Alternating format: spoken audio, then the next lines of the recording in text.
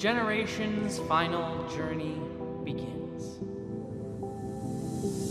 That was the tagline for one Star Trek Nemesis, a 2002 film that was pitched as the final send-off for the cast of Star Trek The Next Generation, a series that had not only brought Star Trek back as a franchise to television, but became a classic of science fiction on its own terms, with an ensemble cast of iconic characters being one of the principal reasons why.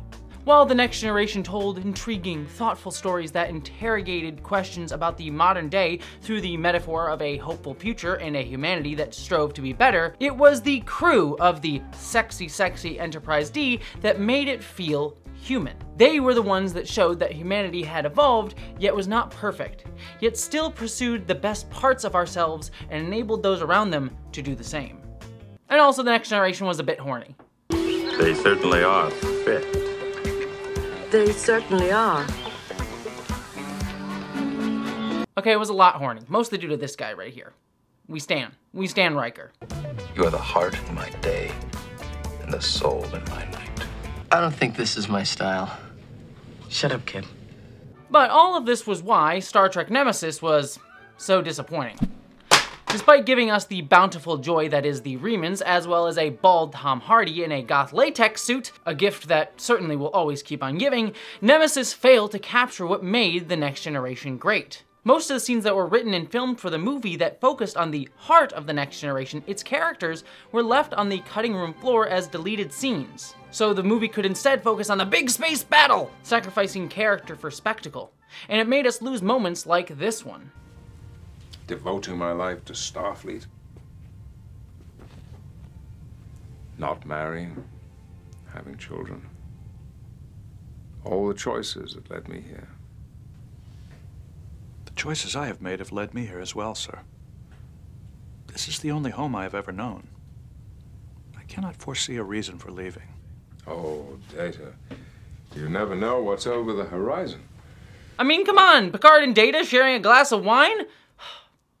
The movie also leaned heavily into some of the more tired, regressive, and frankly intensely problematic elements of the entire Next Generation era, such as Deanna Troi being sexually assaulted because the plot for some reason, and a lack of nuance surrounding its themes of nature versus nurture.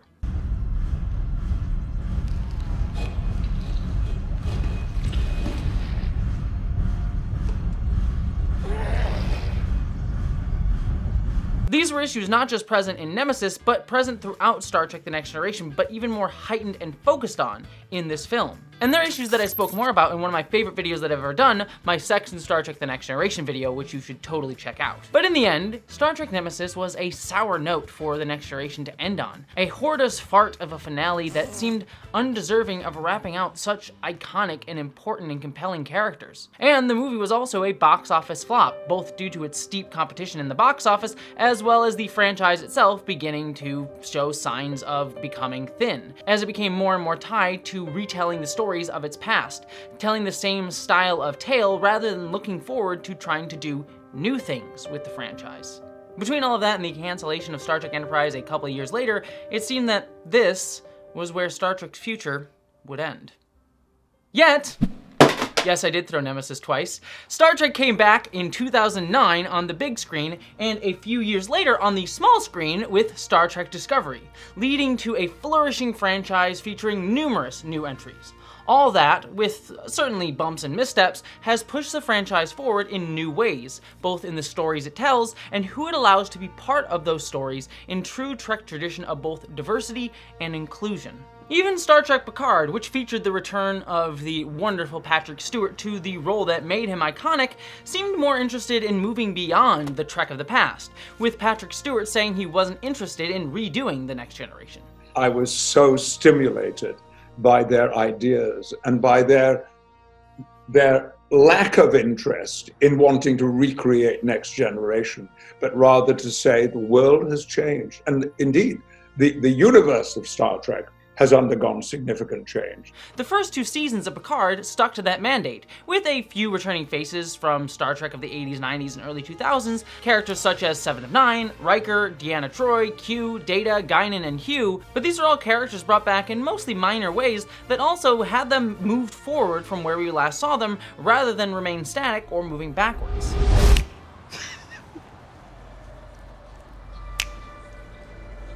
That's unexpected.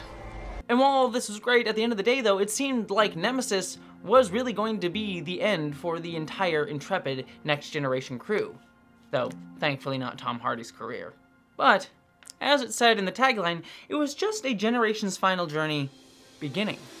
It was announced during season 2 of Picard that not only would the entire main cast of Star Trek The Next Generation return for the third and final season of the series, but so too would many of those who worked behind the scenes on Star Trek The Next Generation itself. Most notably, however, 12 Monkeys showrunner Terry Matalas, who began his career as an associate producer and writer for Star Trek Voyager and Enterprise, who had returned to Star Trek as a producer for season 2 of Picard, would be the showrunner for season 3. Yet, while other Star Trek that had been going on at the time, like Star Trek Strange New Worlds for example, had been thriving critically and with fans, Picard Season 1 and especially Season 2 had been panned, even by fans like myself. And that's really saying something coming from me because as an SJW CBS shill, I never critically analyze anything that comes out of the CBS Corporation. Don't look at the time code. I need to make my videos shorter. Anyways, Star Trek Picard Season 3 had a tall order. It had to wrap out the next generation in a way that Nemesis never did, as well as end the series of Picard overall, while also staying within Star Trek Has Become Now and not feel like the next generation season 8, while also crawling out of the negative perception Picard's first two seasons had garnered. Which is a lot to ask. It's like asking Janeway not to murder Tuvix. An almost impossible feat. Too soon? Doesn't anyone see that this is wrong? Too soon. Yet, it appears to have managed to do just that. Th this season of Picard, that is, not Tuvix survival. That man is dead. He is very much dead. If you look at the reception from Trekkies online though, season 3 of Picard has been universally praised, saying that this was a, quote, return to Trek. Even folks who had been heavily against all modern Star Trek, saying it was SJW woke scold nonsense, Alex Kurtzman ruining everything, seemed to love this season of Picard. What they have done, I will quote Robert Meyer Burnett, are crimes against imagination. So, if you haven't seen any Kurtzman Trek, you are much better off than anyone else. Because Picard Season 3 is the goodbye to the next generation crew that we never thought we'd get. Uh, and I can easily say it's the best of the new Trek because, I mean, there's a giant chasm there's this and shit.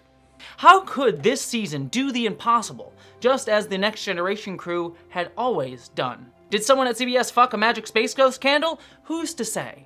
But I think the answer lies in the phrase, return to Trek. Because what Trek is this season returning to, and from where is it coming from? And what does that mean for the future of the franchise as a whole? Personally, I have very complicated thoughts on this season of Star Trek Picard. There was so much that I love and adored, and yet there was also some stuff that I really struggled with, as well as some issues that I've had problems with in this entire modern era of Star Trek. So I want to review Star Trek Picard's final season and interrogate that phrase, return to Trek. In many ways, this final season of Star Trek Picard was about generations and what we give to the future, both in its actual plot and its themes, but also in what this show represents as a series. Terry Matalas himself was a member of the youngest generation of the older era of Star Trek, coming back to Star Trek to finish the work of what that era of Star Trek was trying to do, and yet trying to move it forward as well. He was part of the lost generation of Star Trek, if you will, of those years where Star Trek had gone away and become something new. And as a result, Picard Season 3 feels like a season about what we pass on to the next generation. Our pains, our hopes, our mistakes and missteps, our legacies, and what we hope will move beyond us. So it's time to examine this final season of Star Trek Picard. So let's, you know I'm gonna say it, engage.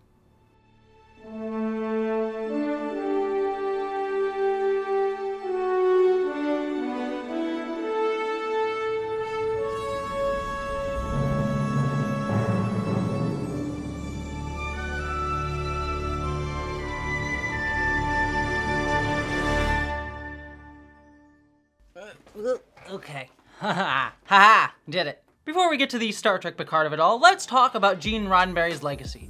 Specifically, his love of a more open future when it comes to sex and sexuality. Don't believe me on that? I literally did a whole three hour and a half video about it, which is why I think that this video sponsor, Adam and Eve, is a perfect companion for this review. Can I do a sponsor transition or can I do a sponsor transition? I'm trans, we got transitions down. And then we make a big deal out of it and ruin the transition. Anyways, Adam and Eve is a fantastic sex toy company that I personally had experience with and I highly recommend their products. Seriously, they're so good they make Jadzia Dax blush. Am I getting anywhere with these Star Trek jokes? Is this a sex toy? Actually, no, it's not. Um, I don't want to false advertise. This is not a sex toy. But if you wish to get Adam and Eve's excellent products, they do also offer discreet shipping so that you don't have to have those embarrassing moments on the transporter pad, and 20% of their profits goes to fighting the spread of HIV around the world. So Beverly Crusher would be proud. I love you.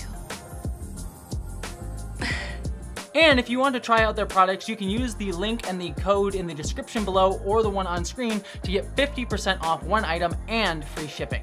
And they even have a 90-day no-hassle return policy, so you know you're not dealing with a Ferengi. So thank you to Adam and Eve for sponsoring this video, and on with the review.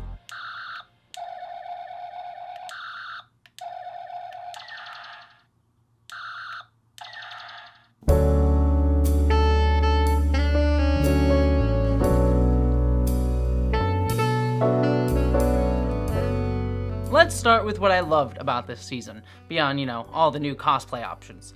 The first thing you notice about Star Trek Picard Season 3 is how wonderful it is to see the next generation characters back together again. Throughout the entire season, it's honestly just a joy to get these characters back again and interacting in new ways. And the show smartly starts off first and foremost with Riker and Picard. You really feel the evolution of these two's relationship. They're willing to banter back and forth and rib each other as friends. Give me one of those rigid, disapproving, sour expressions you're famous for. There it is. And this is something that you wouldn't have seen all the way back in the beginning days of the Next Generation when they were Commander and Captain. I have no problem with following any rules you lay down, short of compromising your safety. And you don't intend to back off from that position? No, sir. But now they're just equals, and it feels glorious. And starting off the season showing us these two is an excellent choice, as we've already briefly seen Riker and Picard interact with each other all the way back in season one of Picard. Thank you, Will. What for? Oh, for so many things. We have a basis for these two in the modern era, and it allows the season to build upon this foundation. Instead of just having every Next Generation character pop up in the first episode, we smartly get to meet them individually throughout the season's 10 episodes, allowing each one of them to get room to breathe and feel significant.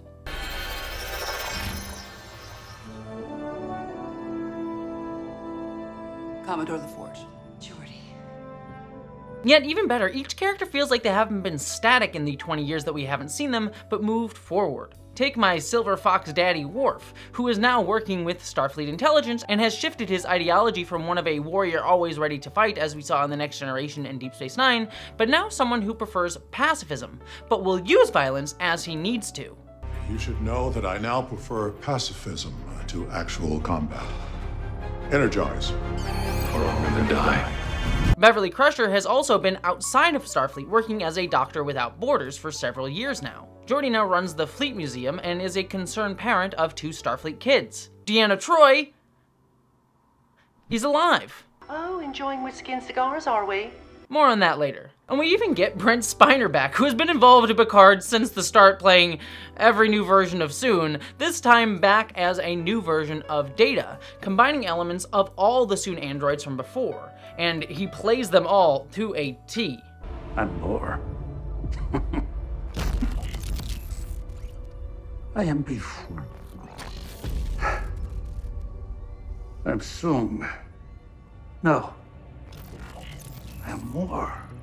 Every Next Generation character this season has all evolved forward in some way. And speaking of the Next Generation, there's also a love for the iconography of that series as well. The bridge design of this season of Picard evokes a lot of the LCARS systems from the Next Generation, even so much so that the end credits played off of it. We also get a ton of Easter eggs like things at the Fleet Museum and the Daystrom Institute, as well as all these sexy, sexy starships. This is my personal favorite. Kirk's Enterprise. And while certainly I understand and to a degree agree that all of this is member berries nostalgia wanking and saying, hey there, there's the thing that I remember, I believe in a show that's meant to be a TNG reunion season, some of that is warranted. And to a degree, it makes sense in universe. There would be a reverence that Starfleet characters have for the USS Enterprise A or the USS Defiant within the world of Star Trek that characters would express. Seeing it makes me feel. You're not the only one, Data. It feels very lower decksian of them.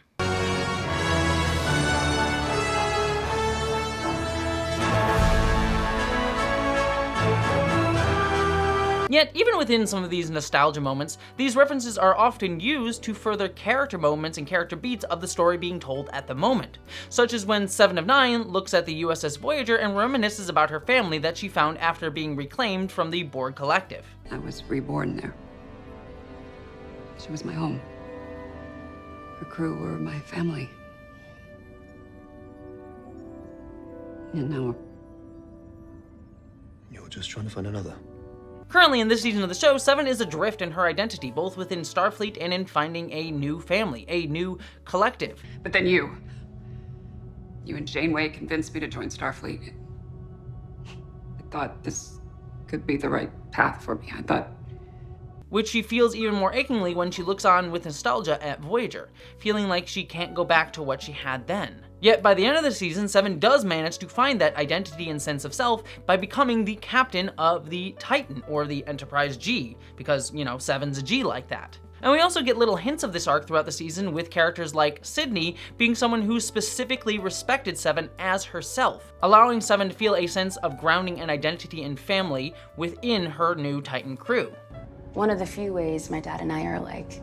We have a hard time making friends. But when we do, we know their value.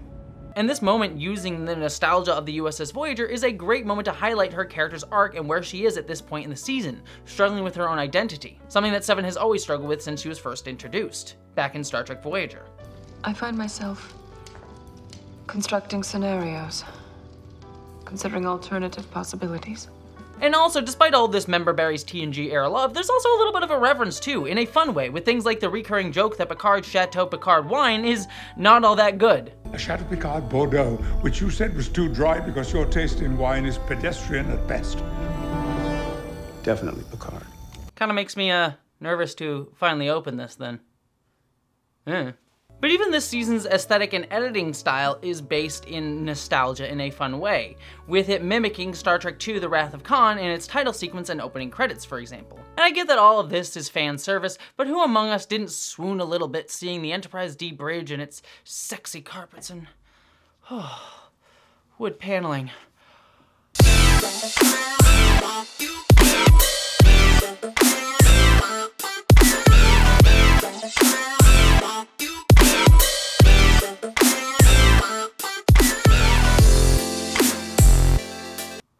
Sorry, what? Sorry, I was getting getting hot over the D.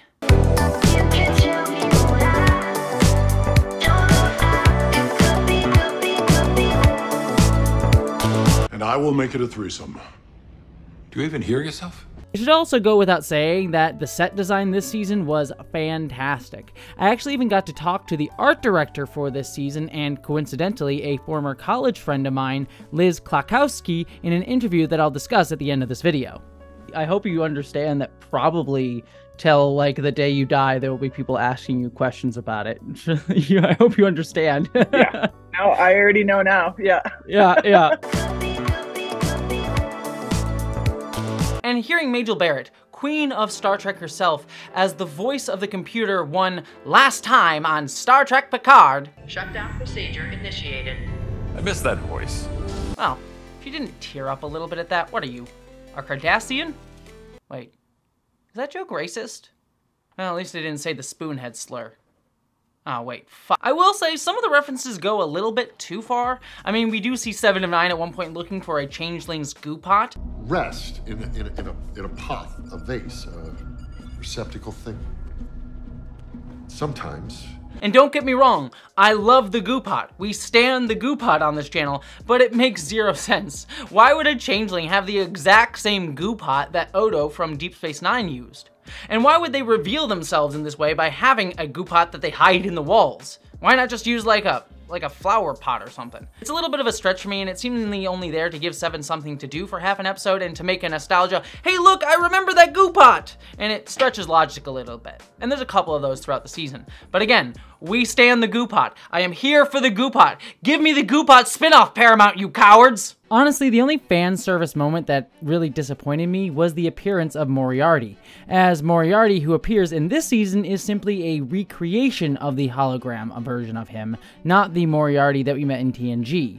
It's just his aesthetic, not his actual character. The Moriarty from The Next Generation actually gained sentience and was trapped by Picard in a holographic hell thinking that he had escaped. Earnestly, I was hoping we get to see that Moriarty, because that Moriarty had an interesting grievance with Picard and an intelligence to do something really clever. To be honest, he would have been a far more interesting and less fan servicey choice than the Borg as the ultimate final villain of the season. Beyond that, though, the dynamics between our TNG cast members are also wonderfully expressed. It's not a nostalgia quip fest like Marvel movies, but genuine interactions between characters that we come to love. Would you like me to say something comforting? You might find that impossible. I know.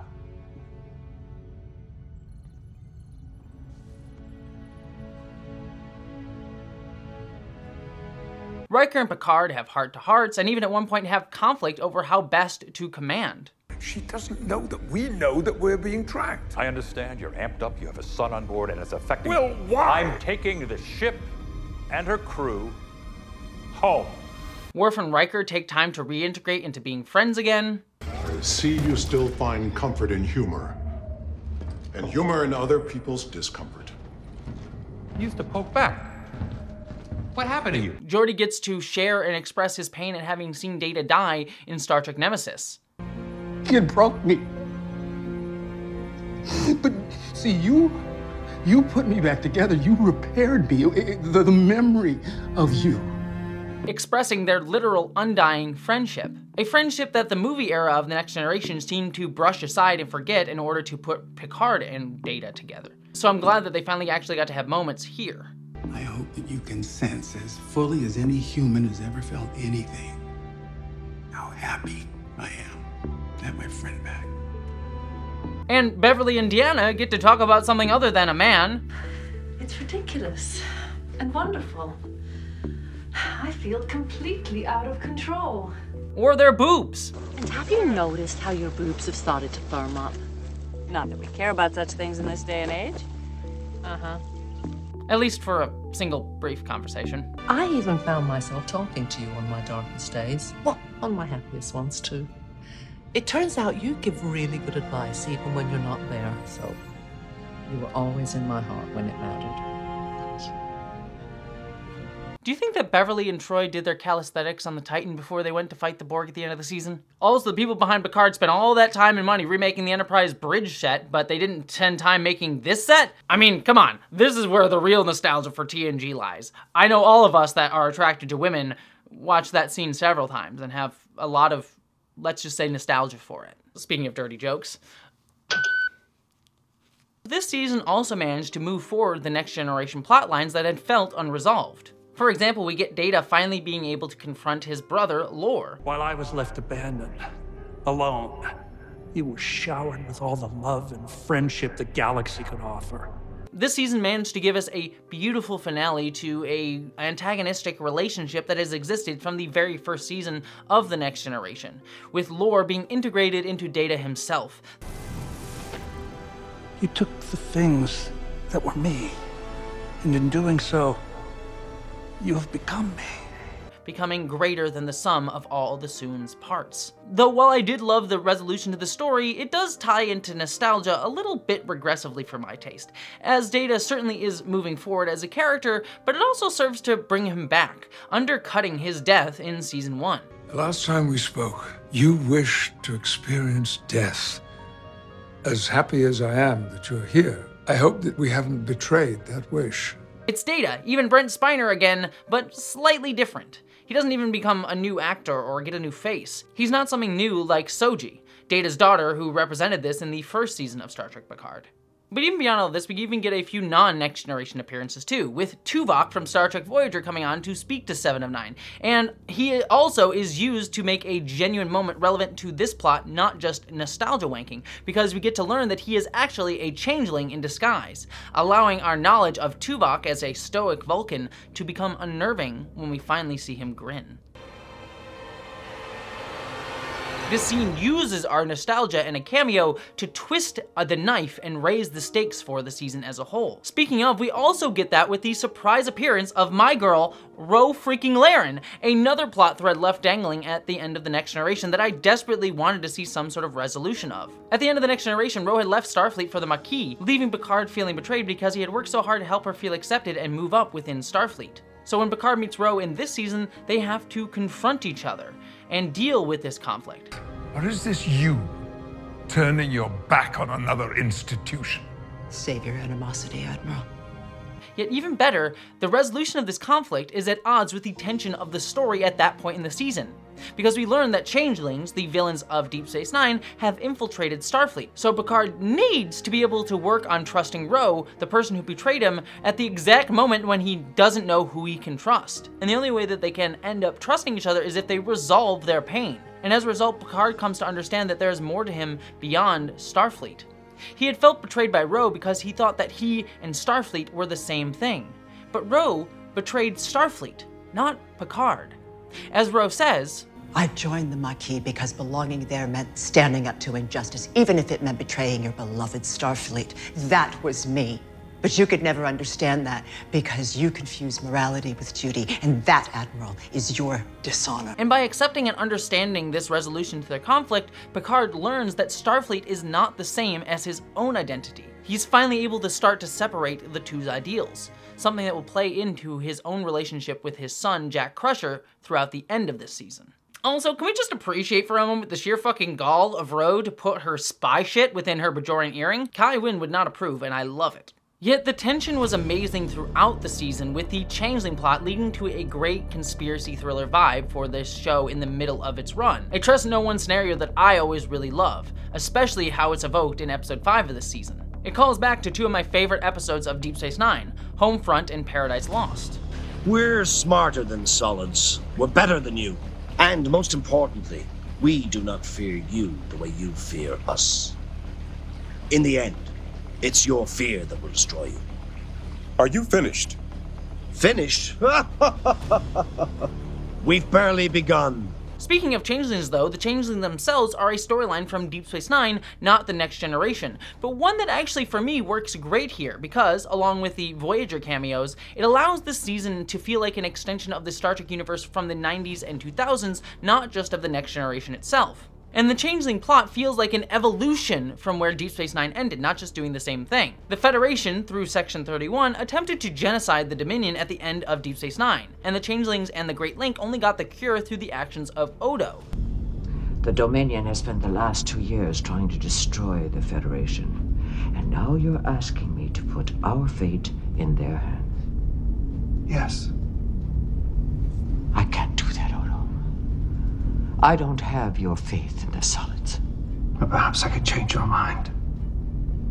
If it hadn't been for that, the Dominion War would still probably be raging today, or the Federation would have even lost that war. So of course there would be resentments, pain, and trauma on both sides of that conflict, which then of course ties back into this season of Picard's theme of one generation giving to the next, of what the past gives to the future, and how that's not always a good thing. This past trauma being brought into the present is most represented by Amanda Plummer playing Vadic for the first four-fifths of the season. And Vadic is an amazing villain. She's not just chewing the scenery, but feasting on it. It's been centuries since timepieces last ran on the mechanics of gears, and yet that persistent sound you hear is a gentle tick-tock of passing seconds. Yet her performance works so well because we learn that she is a changeling who never really got to hang out and learn how to be a solid, how to best mask as them. So her intonation and speech pattern are slightly off. There is a sizable bounty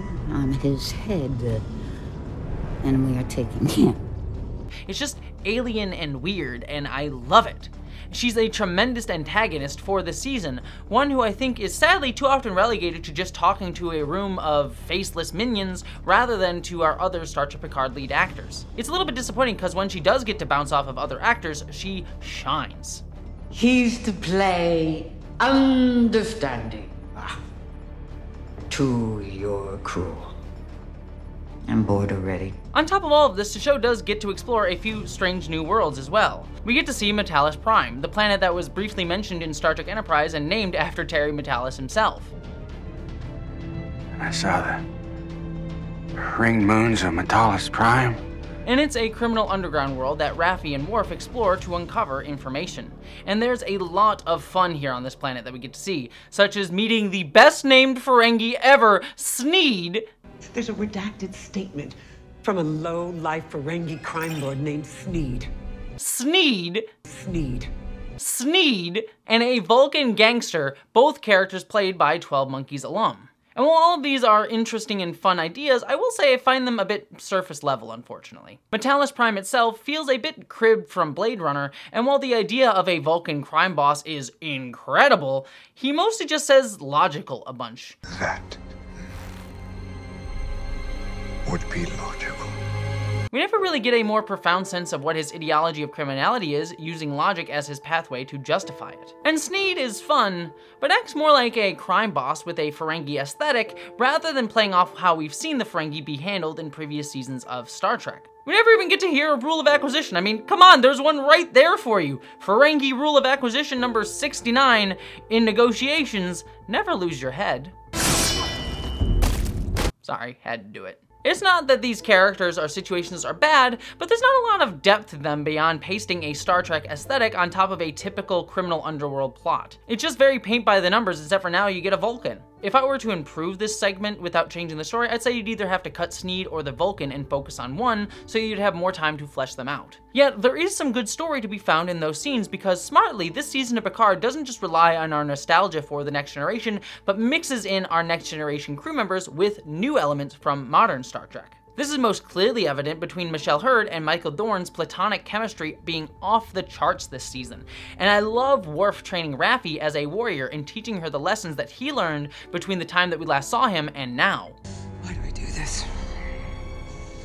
My life, my family, my sobriety. What is wrong with me? You almost died on a mission that everyone told you you should not work. Yeah, thanks. Patience, calm, and a tempered blade, both mind and body. It's a nice way to showcase how Worf has grown between when we last saw him, and also wrap out where Raffi has been going this entire series, struggling with her sense of identity and her lack of feeling control in the world around her, leading her to vices like drugs or toxic relationships like we see with Elnor in season 2. It's so not the young man I see in front of me. But, but you know what? If that's what you want to do, I don't know. I mean, I'm sure it'll be fine, right? You know. I don't know. Hey, it's your life. By seeing her almost fall back into her old habits this season and feeling adrift, Worf, who is a character who also had the same sense of being adrift stemming from his isolation from Klingon culture all the way back in The Next Generation, is able to guide her through that journey by showing her how he found his own sense of self. Oh, also, random aside here though, because I didn't have anywhere else to put this in the script, why was Worf hitting on Troi all season and didn't have one mention of his wife Jadzia? I have thought of your empathic gifts often during my self-evaluation. Well, that's wonderful. Inappropriate. The work that I've done on myself. My gal Jadzia did not get ragdolled by Gul Dukat to be disrespected by her widow like this. But moving on, we also have the USS Titan, where this season's actions mostly take place, and it's Captain Shaw, played by 12 Monkeys actor Todd Stashwick. Shaw is easily my favorite thing about this season, which is shocking considering he's a brand new character amongst legacy characters. Shaw initially comes across as a rude asshole to our legacy characters. I apologize, Captain. Are we late? Hardly. Just your reputation preceded you so far into the room that I started early. Even more so and more personally, he seems to deny seeing Seven of Nine as a whole person as his first officer, resentful of her being ex-Borg, calling her Commander Hansen despite her name being Seven of Nine. Well, this is Seven of Nine. Commander Annika Hansen, sir. Captain Shaw prefers that I use Hansen. something that Picard himself recognizes. Thank you, Seven. And all of this should be stuff that makes us hate Shaw. Yet Todd Stashwick managed to give him a charm even within his dipshittery. I underestimated you. You have great instincts. You are a natural leader. Make a great captain one day. Which is something I totally would say. If you were a changeling and not just a dick. Now you're starting to catch on. And the show gives him a lot of nuance as well. We see him being a complete person, not a simple asshole or antagonist, like when he nerds out at meeting Geordi. Uh, as a former engineer, I, I just wanted to say what a what an honor it is to have you on board. Captain, your hull is battered, bruised, and basically paper thin. You're spewing fumes through layers of 21st century duct tape. Yeah, it's been a weird week. There was nothing more relatable this season as a Trekkie than him just freaking out over Geordi. Which is why, under better circumstances, I would gladly geek out with you over the marvel of maintenance and engineering that this ship is. And as the season goes by, we do see that there is a reason that he is a Starfleet captain. While he doesn't always agree with our lead characters, his opinions have validity. For example, he hesitates to rescue Picard and Riker from their situation in episode 2 because it would mean putting his crew on the Titan in danger in an area that they're not supposed to be in. If that ship decides to engage us, we are outgunned, and I am not going to risk 500 souls for two relics who think that a couple of brass medals make them golden boys. They dug their grave, they took you with them. Hold your position, LaForge. Yet he does choose to make the noble choice at the end of the day. And as the season goes along, we start to see why he's so protective of his crew and risk averse, while also having a stigma against Picard and Seven as ex-Borg, because Shaw himself was at and was traumatized by Wolf 359, the Borg attack that Picard was forced to lead when he was assimilated by the Borg in Star Trek The Next Generation. We weren't. We didn't fight over who should live and who should die. Uh, we we waited for orders, and then finally, some lieutenant comes down and she just starts. You, you, you. She's pointing at me. Why, why me? Out of that experience, Shaw fears death and putting his young crew in danger. Yet what I love most about this season of the show is the nuance with which it shows his character, because while it understands his trauma, it holds him accountable for the actions he takes stemming from that trauma, like his mistreating Seven of Nine. Ensign LaForge always calls me Commander Seven. Out of respect. In the end though, Shaw does ironically die at the hands of his young crew who have been turned into Borg despite his fears. And yet, he does shine through despite this, in his final moments calling Seven of Nine her actual name, seeing her full humanity. You have the con. Seven of nine. It shows that he was not immovable and incapable of change, and it's a beautiful arc that showcases what Trek is always about. Not us being perfect humans, but living in a world that enables us to pursue our best parts of ourselves through empathizing with our pain and understanding our flaws, and thus being able to move beyond them and become greater as a result. My only knock against Shaw's storyline is that it does end on the tropey redemption through death, rather than actually have him be held accountable and showcase that we can work to do better day by day. But alas. However, while the relationships between Shaw and Seven or Raffi and Worf represent a middle generation having relationships between the TNG era and our younger generation today, the relationship between the oldest and youngest generations is the focus of this entire season. I grew up listening to your adventures. All the times you and Picard stood up for what was right. It's a different time. No, it is you and I that are different. This season is about, as I said, lineages and what we pass on. Someone will rise to be the best of us. And we see this most notably between Picard and his surprise son, Jack Crusher. Is there anybody you know who's still the person you knew? Or have you planted roots in your vineyard while everybody else moved on? Who is your father? I never had one! And I will say, the reveal that Picard had a secret son that he never knew about could have easily been a jump the shark moment. Surprise kids and family members are an overwrought trope, even within Star Trek, which already did the surprise family members, including Picard having a potential surprise son, all the way back several times in TNG's final seventh season. Your genetic code is a cross between the DNA of your mother, Miranda Vigo, and your father, Jean-Luc Picard.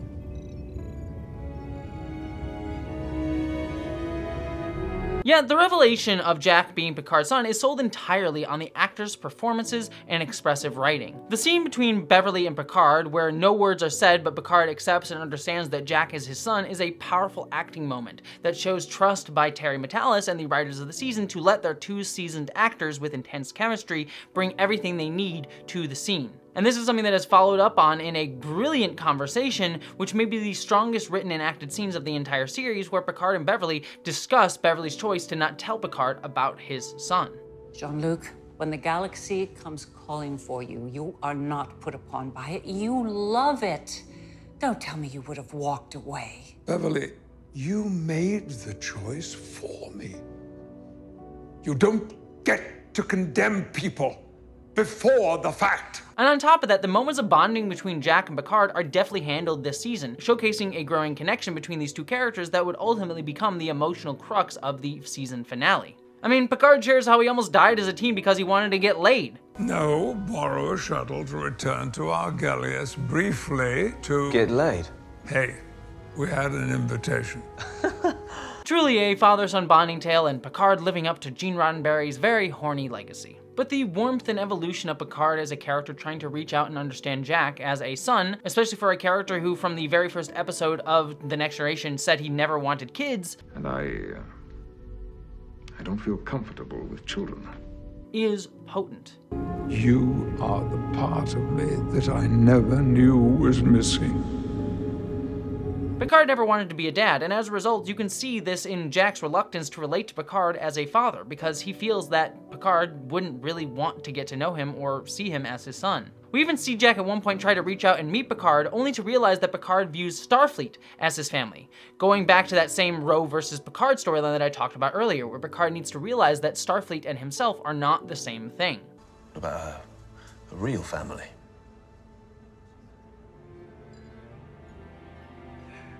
Young man, Starfleet has been the only family I have ever needed. But as the season goes on, Picard begins to hear and relate to his son and his struggles, and Picard begins to see what he was missing as a father. The joy and lessons that he could have passed on, or the guidance that he has to give. I lived with Irumodic syndrome for decades. Fate is a way of surprising us, and you're young, Jack.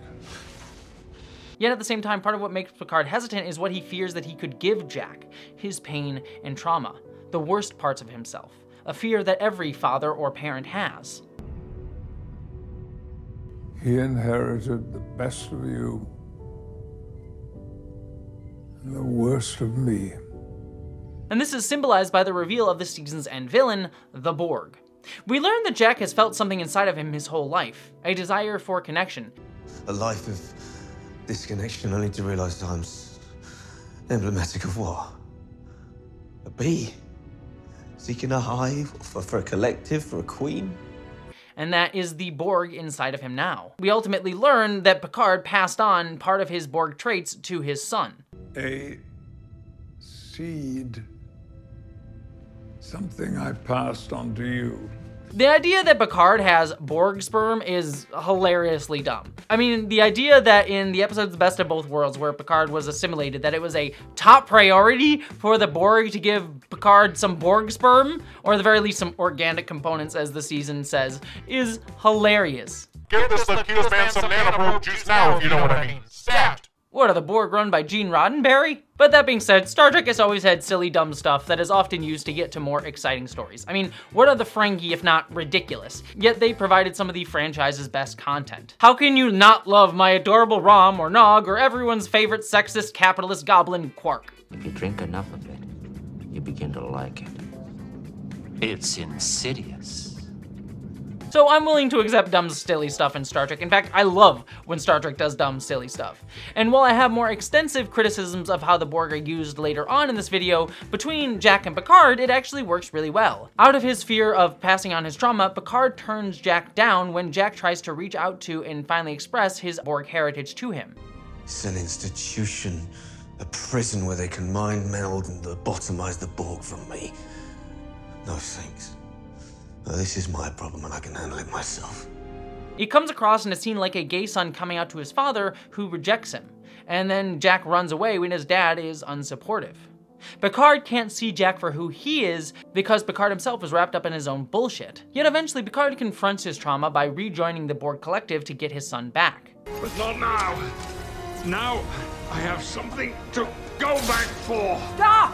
And what's even more beautiful about these scenes is that while Picard tries to turn Jack away from the Borg, he ultimately accepts Jack's choices for his own sake. He doesn't try to force Jack to leave the collective, he says, well, I'll stay with you if this is what you want, allowing Jack to feel a sense of acceptance from his father. Then if you won't leave, I'll stay with you. Till the end. Which is ultimately what allows Jack to return to himself. It's love, acceptance, and seeing someone as their whole self in the face of the Borg's control or the Borg Queen's fascistic appeal of giving yourself up for a larger collective that doesn't care for you that allows Jack to feel like he can escape and feel acceptance. It's ultimately a really beautiful storyline and one that I think caps off this season really emotionally well.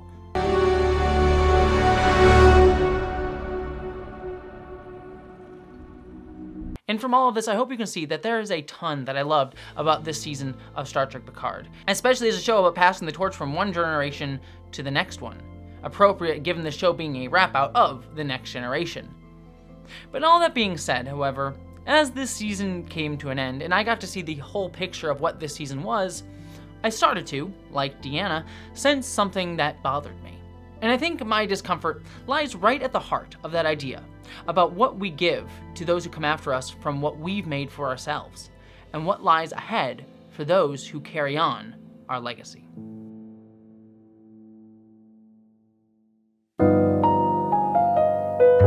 This section of the video is going to be my critiques and criticisms, and a lot of my issues with this season come down to perspective. Whose perspective the story is told through. But let me first start off with the more structural criticisms of the season, of which many I would apply not just to this season of Star Trek Picard, but to a lot of modern Star Trek generally. First and foremost, let's address the big Borg cube in the room. The time and place that the Borg are brought into this story feels way off.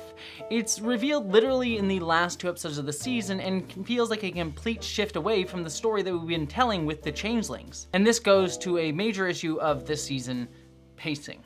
Pacing has been a huge problem of every season of Star Trek Picard, as well as Star Trek Discovery. For both shows who are telling serialized stories throughout their entire seasons, the pacing continually feels off. They often have these big mystery box storylines and then string them along for most of the season, and it means that whatever the reveal at the end of the season ends up being, it needs to be good because it's been strung out over 13 or 10 episodes. And honestly, it never really is worth the wait. No! No!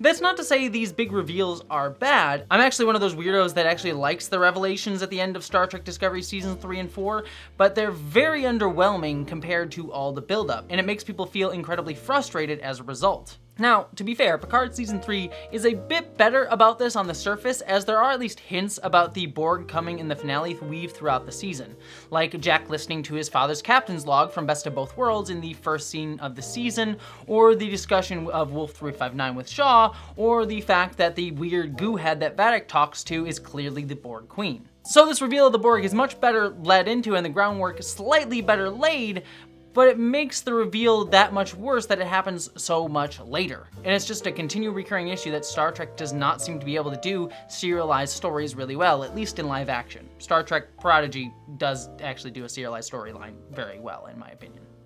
Speaking of finales though, this season continues my issue that I've had with a lot of Star Trek finales in this modern era, especially in live action, in that they always need to crank everything up to 11. Every season of Picard and Discovery have always ended with the fate of the Earth, the entire Federation, and potentially all life in the galaxy at stake. And it honestly just makes things feel like white noise. They are gathering forces to launch a strike on full system. And what is that outcome? A future in which all sentient life in our galaxy has been eradicated. Is to seek out advanced synthetic life and excise it from the oppression by organics. You will become the destroyer after all. Another burn could destroy what remains of the Federation. If we want to save the future, then we have to repair the past. Otherwise, it will destroy our planets as well. And billions will die. Makes me lose interest if the stakes are always world-ending every single time. And not only the stakes that, but also everything needs to be at that 11 scale. For example, we learn that it's not just a lot of Starfleet ships that are at Earth attacking it, but every single ship in the fleet. Every ship in Starfleet operate as one.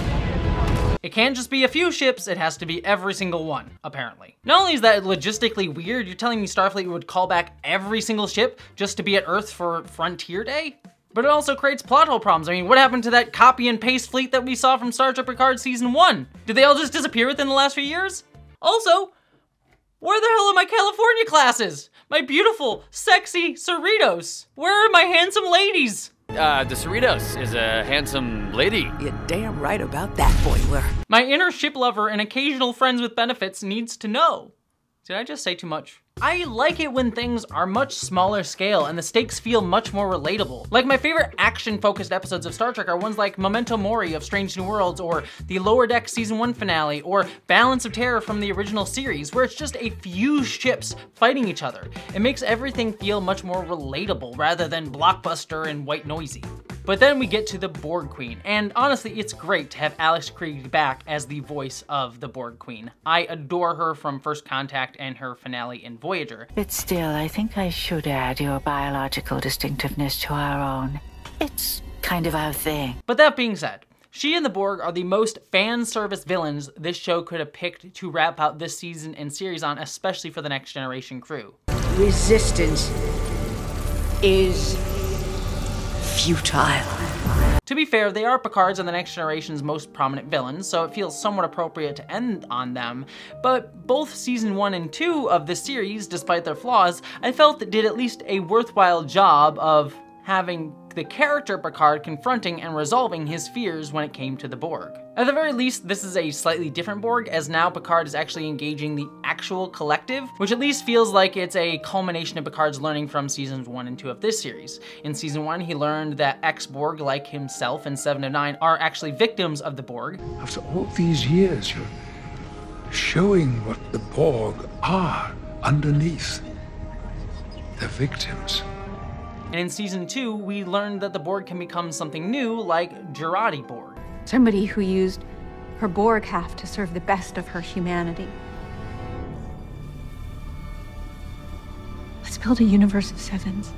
It was just the Borg Queen and the way the Borg were depicted in their previous appearances with their fascistic ideals who are the bad ones. And so Picard can take the learnings from seasons 1 and 2 to confront this villain in a new way with new information and new growth as a character. But this also does bring up some problematic questions, like what happened to the Singularity, the evolved Borg at the end of season 2 with Jurati, or Borgrati as they say, and her Vagina Borg ship. Yes, it does look like a vagina. I get that Borgrati is a sort of separate collective from the Borg Queen, but it's still weird that she never comes in here. Even more so, this plays into another issue that I have with season 3, in that it seems to deny a lot of what happened in season 1 and 2 of this very series. So much of season 3 tries to erase prior plot points of seasons 1 and 2. Forget about all that weird shit of the Stargazer. And don't get me wrong, I dislike season 2 of Picard, and I have major issues with season 1 of Picard, despite liking a lot of its ideas, but it's weird to erase a lot of what those seasons did, what this very series did. For example, outside of Raffi, no Star Trek Picard specific characters appear in this season. Where are Elnor and Soji? They would have been perfect characters to bring in. Why not bring in Elnor as a crew member on the Titan? He's a character who got to see Picard as a father figure in a way that Jack never did, and might have had interesting conflict with Jack Crusher as a character. Also, Soji is literally Data's daughter, and he never even seems to ask or talk about her. Yes, apparently Terry Matalas in an AMA said that they did write a scene for Soji, and they couldn't film it because of budget, but it's still weird that they don't at least have him mention her. That would have cost zero money, unless, you know, you're paying Brent Spiner by the word. Wait, is that the reason that Data doesn't say contractions anymore? Because Brent Spiner wanted more money per word? You just used a contraction. No, I didn't. Obviously not but it's funny. Regardless though, to be fair, no one in Star Trek Beyond Sisko is ever going to win Father of the Year. I mean, where the fuck is Alexander, Worf? I wasn't the kind of son you wanted, so you pretended that you had no son. You never accepted me. You abandoned me. But even beyond this, Laris, Apparently, Picard's fiance is mentioned in the premiere and then never comes up again. There is this great bar, Chaltok 4. You can watch the sunset from it. I'll save you a seat. She's not even mentioned in the finale. Do you think she's just like waiting there for Picard to show up? Picard's like, oh shit, I forgot my fiance. Well, come on, Jack, time to meet your stepmom. And on top of all of this, there are numerous lines and jokes that make fun of past seasons. I thought you loved a Abed. No. We went there for Thad, but it's not really my cup of tea. Honey, it's not mine either. That house, it's like it was designed by a cabal of retro prairie hipsters. And again, do not get me wrong, there's plenty to make fun of with Picard seasons one and two. I mean, Narek, just just Narek. Just saying Narek is a joke in and of itself. But that being said, like or dislike these elements, and believe me, you can dislike them, these elements of Picard were trying something new and had kernels of good ideas in them. And Star Trek has always been about taking flawed stuff and doing really cool new things with those pieces. Again, see the Ferengi or the space slugs of the Trill, but instead Picard kind of pushes them aside and ignores them, and instead just wants to do all the nostalgia stuff with the TNG characters instead of seeing how these TNG characters relate to the new things from past seasons of Picard, outside of Raffi and a couple references. Hell, even Q's death from season 2 is undone, which feels really weird. I thought you were dead. Oh. And here I was hoping the next generation wouldn't think so linearly.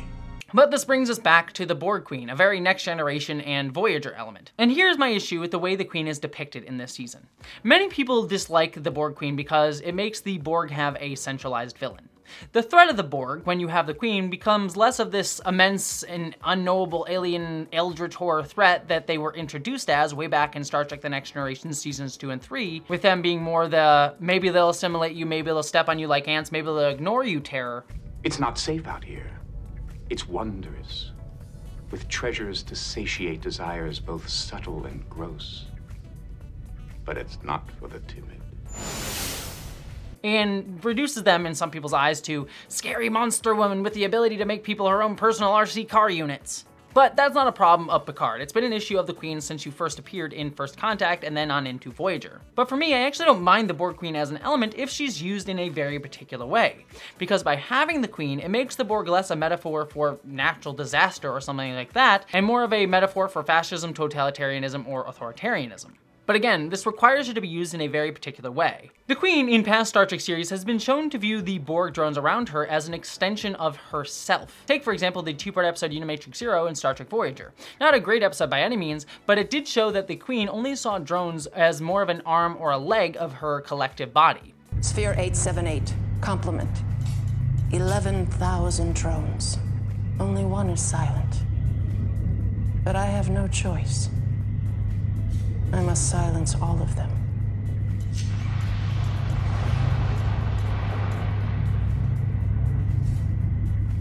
I know how this must upset you, Captain. As a Starfleet officer, you value all life, even drones. How many more are you willing to sacrifice? She's willing to, in her mind, blow up an entire Borg cube because one Borg drone on it was infected, like cutting off a dead fingernail. But instead of going with that feel, the finale kind of goes with the Queen being this crazy and traumatized mother who wants to kill others because her children were murdered by Janeway at the end of Star Trek Voyager.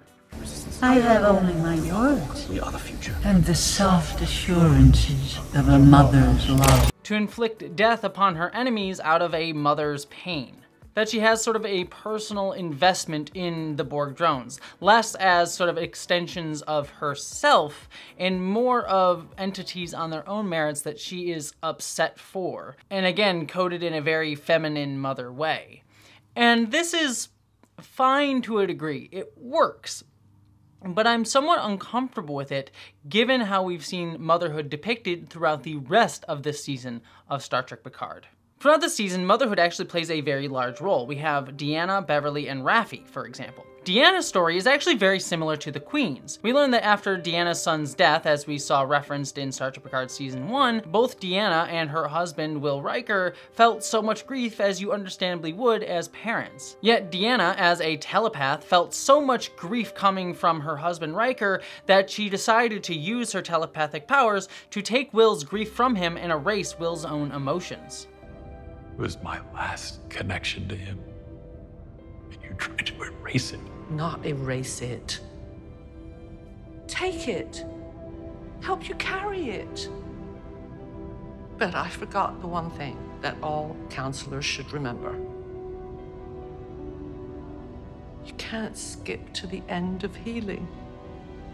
As a result, it frames Deanna's grief as a mother coming out in ways that are trying to control others and control specifically men and fathers around her. Like the Queen, Deanna's motherhood is coded as controlling, traumatizing, and overly emotional. Beverly Crusher, whose storyline this season mainly centers again around her being a mother, does something kind of similar, though to a lesser degree. Out of fear for Picard's lifestyle, as a mother, Beverly takes away Picard's agency and ability to choose to be a father from him.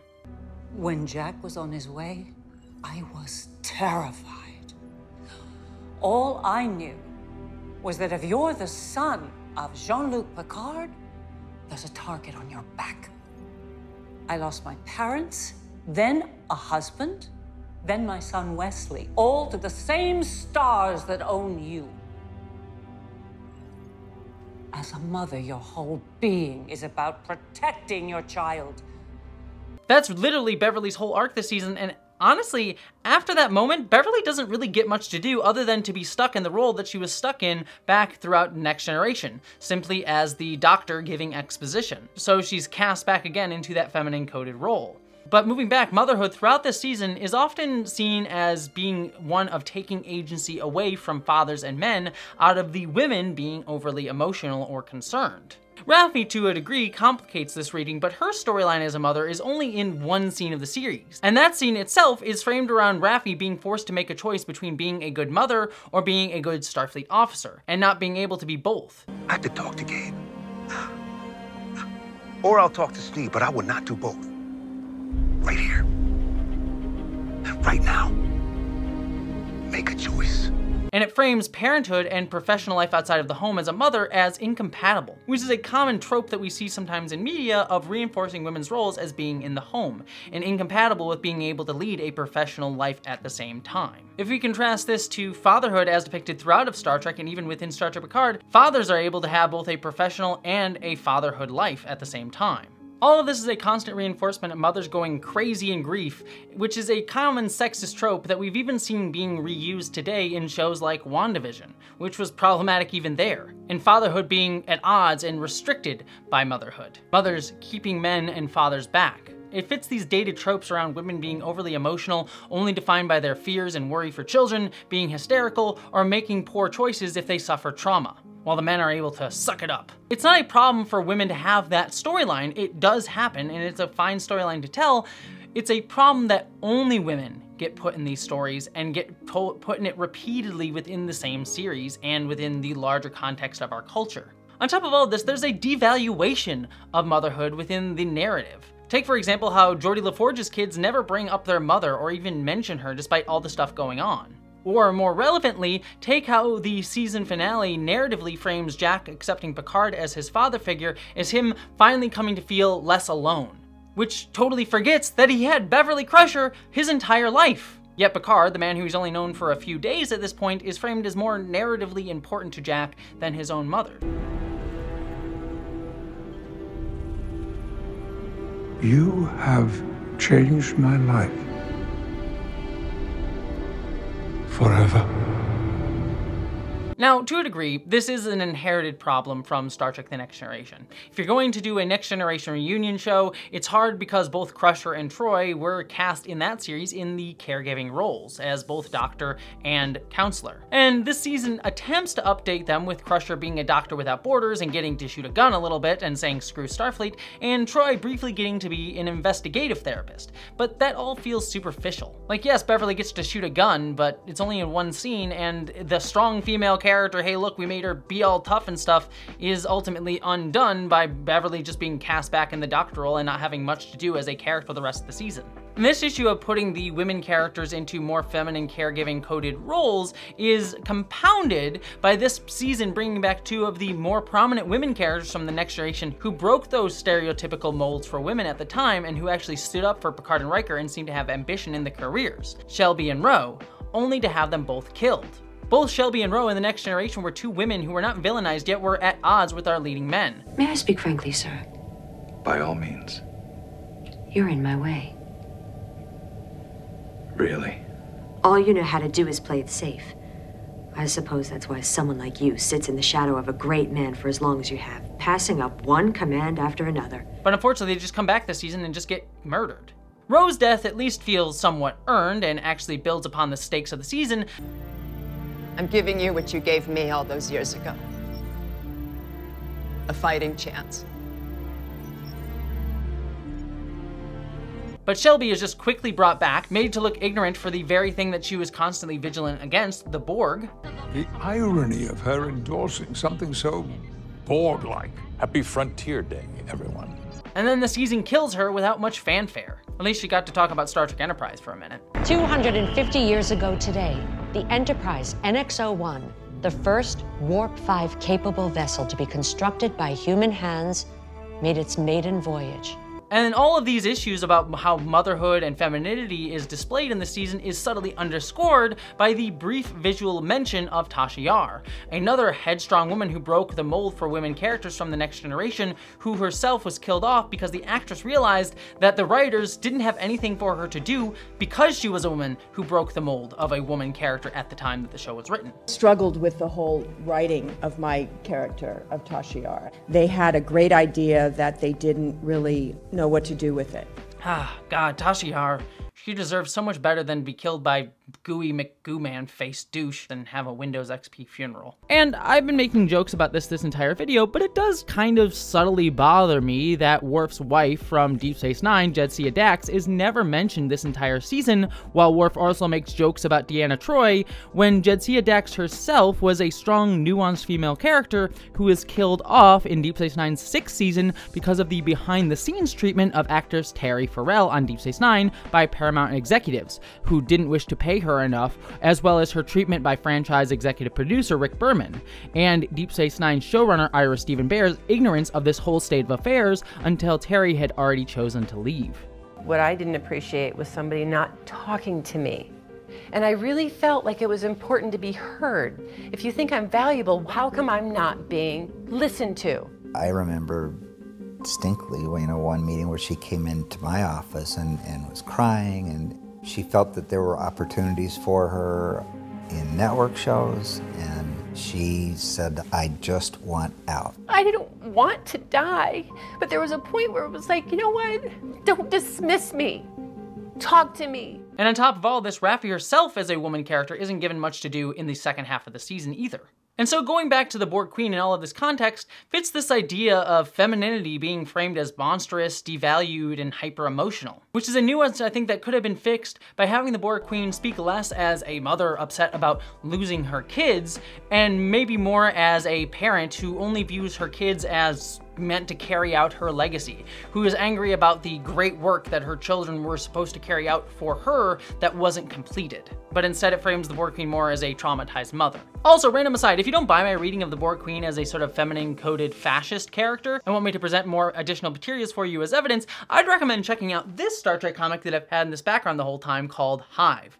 Because there's a lot of the Borg Queen in this comic as being framed as a feminine coded mother and fascist. And before all of you say, hey, Jessie, that's a comic book, it's beta canon, it's not really relevant to the conversation going on here, I'd say reread it again and say, huh, doesn't the plot of this comic seem oddly familiar? I mean, look at the queen in these two images. And then go and check who wrote this comic. I'm not gonna tell you who it is, but I'd go and check and see who the author of this comic book is.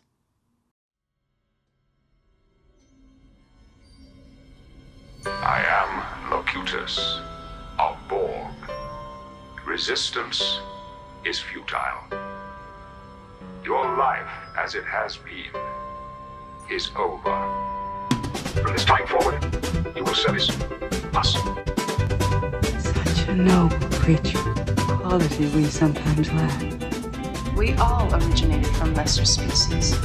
I myself came from species 125. But that's irrelevant now. Can't begin to imagine the life you denied yourself. Are you familiar with physical forms of pleasure? Hair, garments.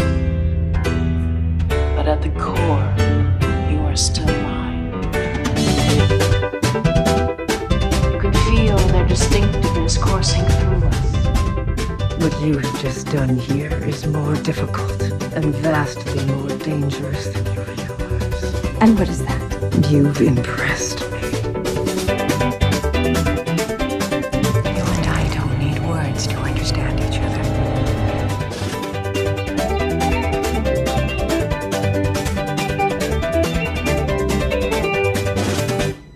Was that good for you?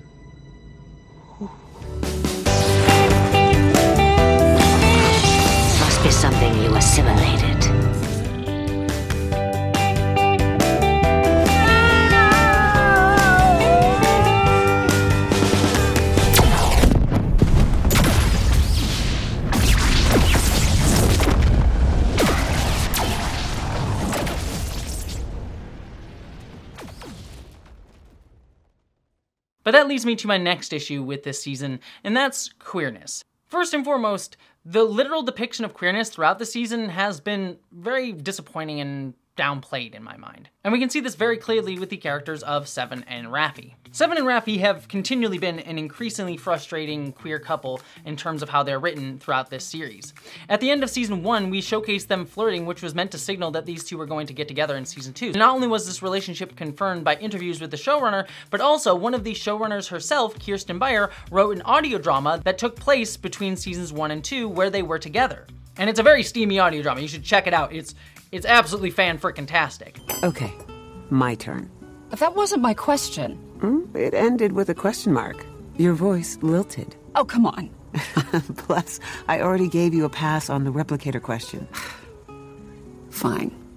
First kiss. Before or after I was severed from the collective? Wait. The Borg have sex? Uh, two questions. You lilted. Damn it. Yet, season 2 then starts with the characters having already been broken up, and we spend the entirety of season 2 working to have these two earn getting back together. So at the end of season 2, finally, we have Seven and Raffi being an on-screen queer couple. With, so if that's your plan.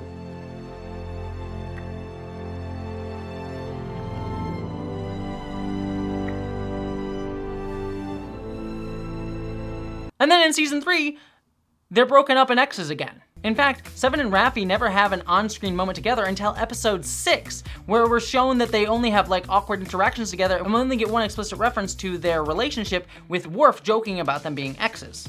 I have gone into battle with lovers countless times. It can be therapeutic. I'm not going. That is a relief. I was practicing deceit. Guess Worf is scared of bisexual women. Or maybe he's just trans and homophobic. They bother me. Why Worf? Well, they just do. They're all alike. No males, no females. Yeah, yeah, that checks out. Worf, my boy, you got shit to work on. Still a sexy silver fox, though. They look like dresses. That is an incredibly outmoded and sexist attitude. I'm Surprised at you. Besides, you look good in a dress. Anyways, I understand showrunner Terry Matalas wanted to tell a story that required Seven and Raffi to be in different locations this season, but that doesn't require that they break up. Yet in an AMA, Terry also discussed that part of the justification he had for them breaking up at the beginning of the season is that they would end the season being captain and first officer of the Enterprise G. I think Starfleet regulations have a lot to say about them being officially together, which is why we had them apart to begin with. We knew we were ending here, and that would be a big conflict of interest on the bridge. I have criticisms with this justification on a couple different levels. The first one is that it kind of is the writers working backwards to figure out where they need to start instead of earning that naturally between the characters. Like, I think it would have been much more worthwhile to have Seven and Raffi have an on-screen conversation about whether or not they could continue their relationship if they both were in Starfleet. Like, even if you wanted to have them break up at the start of the season, even have an on-screen conversation where they talk about that decision, like maybe one of them disagreed with that line of thought for some reason. Just something. But instead, we get nothing between these two characters who were ostensibly in a relationship, and it leaves us who wanted to see them actually finally earn being in a relationship after the end of season two feeling entirely frustrated. These two were partners, and you're telling me they would have no interaction with any emotional depth this season? I mean, Raffi has a more on-screen emotional scene with her ex-husband, who isn't even a main character of this show, than she does with the character who has ostensibly been her romantic partner throughout the entirety of this series. I mean, hell, we get more emotional queer scenes between Seven and Raffi in the audio drama, which again, I cannot stress again how good the audio drama is. Then we get between these characters who have had literal seasons of build up to their relationship get on screen. And the very fact that this season continually chooses not to showcase these two queer characters' relationship, or even dramatize their breakup, which is relegated to in between seasons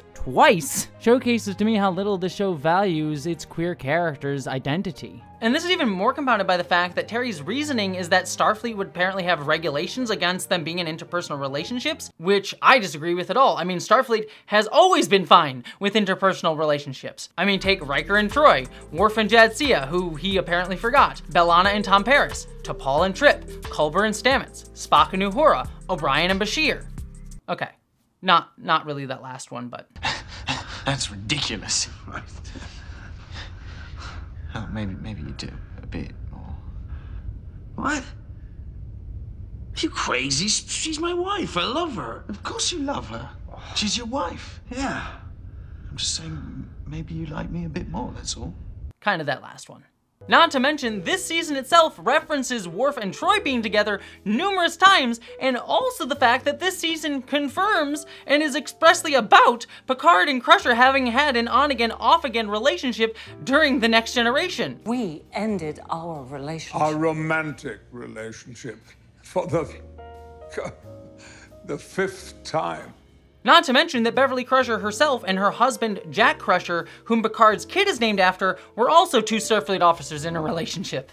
So to use the regulations as a reason to break up Seven and Raffi feels like it's them hyper scrutinizing a queer relationship. This is not me saying that Terry Matalas or the writers of this season were hating on a queer couple and wanted to break them up, but me more saying that they might have been over scrutinizing a queer relationship because they are more hyper aware of it because it was queer than they would have been over a more naturalized and normalized steaming straight relationship. This is even more of a problem when you see how many straight passing relationships we see this season. We get hinted at romantic scenes between Jack and Sydney. Is he flirting? Those eyes. He is charming. And we also get to see straight passing relationships of past series like Riker and Troi. We get more with those couples than the Cylon who has been a significant plotline for the series for two seasons. Also, speaking of Seven, it does kind of bother me that Seven of Nine doesn't get a moment with the Borg Queen in the finale either, because I'd argue that Seven had just as, if not more of, a relationship with the Borg Queen as we saw in Star Trek Voyager. You're torn between your desire to be one with us and your loyalty to them. It's time for you to complete your task. And so deserve to also have a final confrontation moment with her with Picard.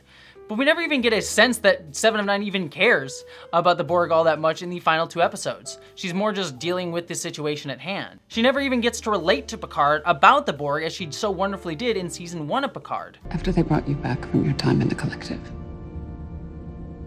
do you honestly feel that you regained your humanity? Yes. All of it? No. But we're both working on it. Aren't we? And moving to other issues with queerness, we also see characters like the non-binary character this season as a side alien bridge character, which again casts trans people only in alien metaphor and as background players, which is an issue that science fiction and, you know, Hollywood generally has had when it's come to representing queer and trans folks, but even Star Trek specifically has had an issue of, going all the way back to Star Trek The Next Generation episodes like The Outcast or Cogenitor on Star Trek Enterprise in 2002. You've heard of these cogenitors. Not all species are limited to two sexes.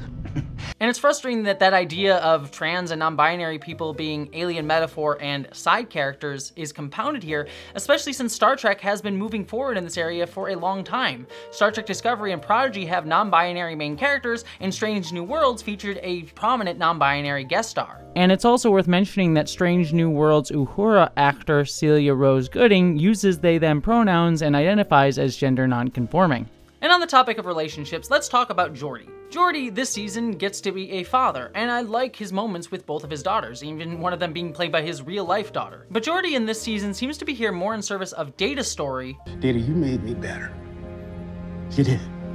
You made me a better man, a better father, a better friend. As well as his daughters. To be thinking about us. I grew up listening to your adventures. All the times you and Picard stood up for what was right. It's a different time. No! It is you and I that are different. The only thing that he really gets to have of his own in terms of uh, contributing to the narrative is as keeper of nostalgia. Thank the good old Prime Directive. The saucer was retrieved from Veridian 3 so as not to influence the system. I've been restoring it bit by bit over the last 20 years. He's here to facilitate the plot and others' narratives, yet we never really get to see much of what Geordi's got going on in his life. For example, we never learn who the parent is of Geordi's daughters, who Geordi's potential partner even was. And this isn't necessarily a problem in and of itself, but it does ring as weird, let's say, considering that the main problem that even LeVar Burton, the actor himself, discussed when it came to Geordi's depiction going back to Star Trek The Next Generation was about how Geordi was often framed as this guy who was ineffectual in relationships. It's insulting. Whether they are aware of it or not, those white men who wrote the show had an unconscious bias that was on display to me and to other people of color. Their blind spot is revealed in the fact that a black man never was successful at one of the basic and most my wife says there's a lid for every pot. It's true. The idea that Geordi never found a lid for his pot is ludicrous, it's preposterous, and it's insulting. It's part of the problem.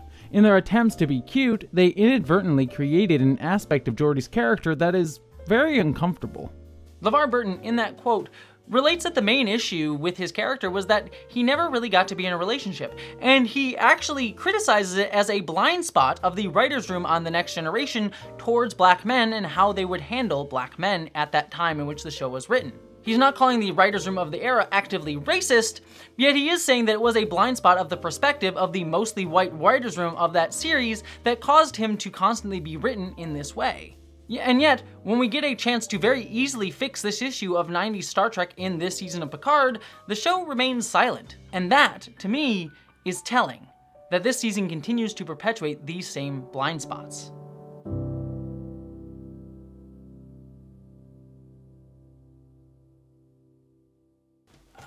Okay, so, um, being honest, I might have gone, I might have gone a little bit too far with this costume.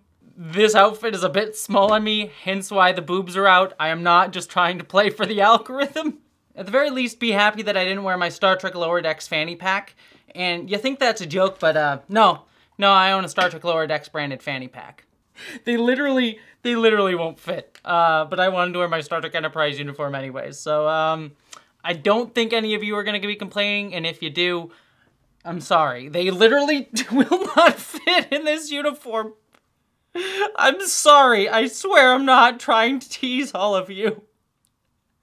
Anywho, let's talk about Star Trek Picard. So far in this video, my criticisms have mostly centered around discussing issues of representation or depiction of individual characters and their placements within the story, and how that may stem from a limited perspective on how to fit them into this larger tapestry of this universe. But I also think these issues extend further into how this season discusses its themes, allegory, metaphors, and overall messages, especially surrounding this season's ideas of what we pass on to further generations, in a way that I think dilutes some of the season's stronger ideas. So let's discuss how many of the season's intentions get muddied by execution.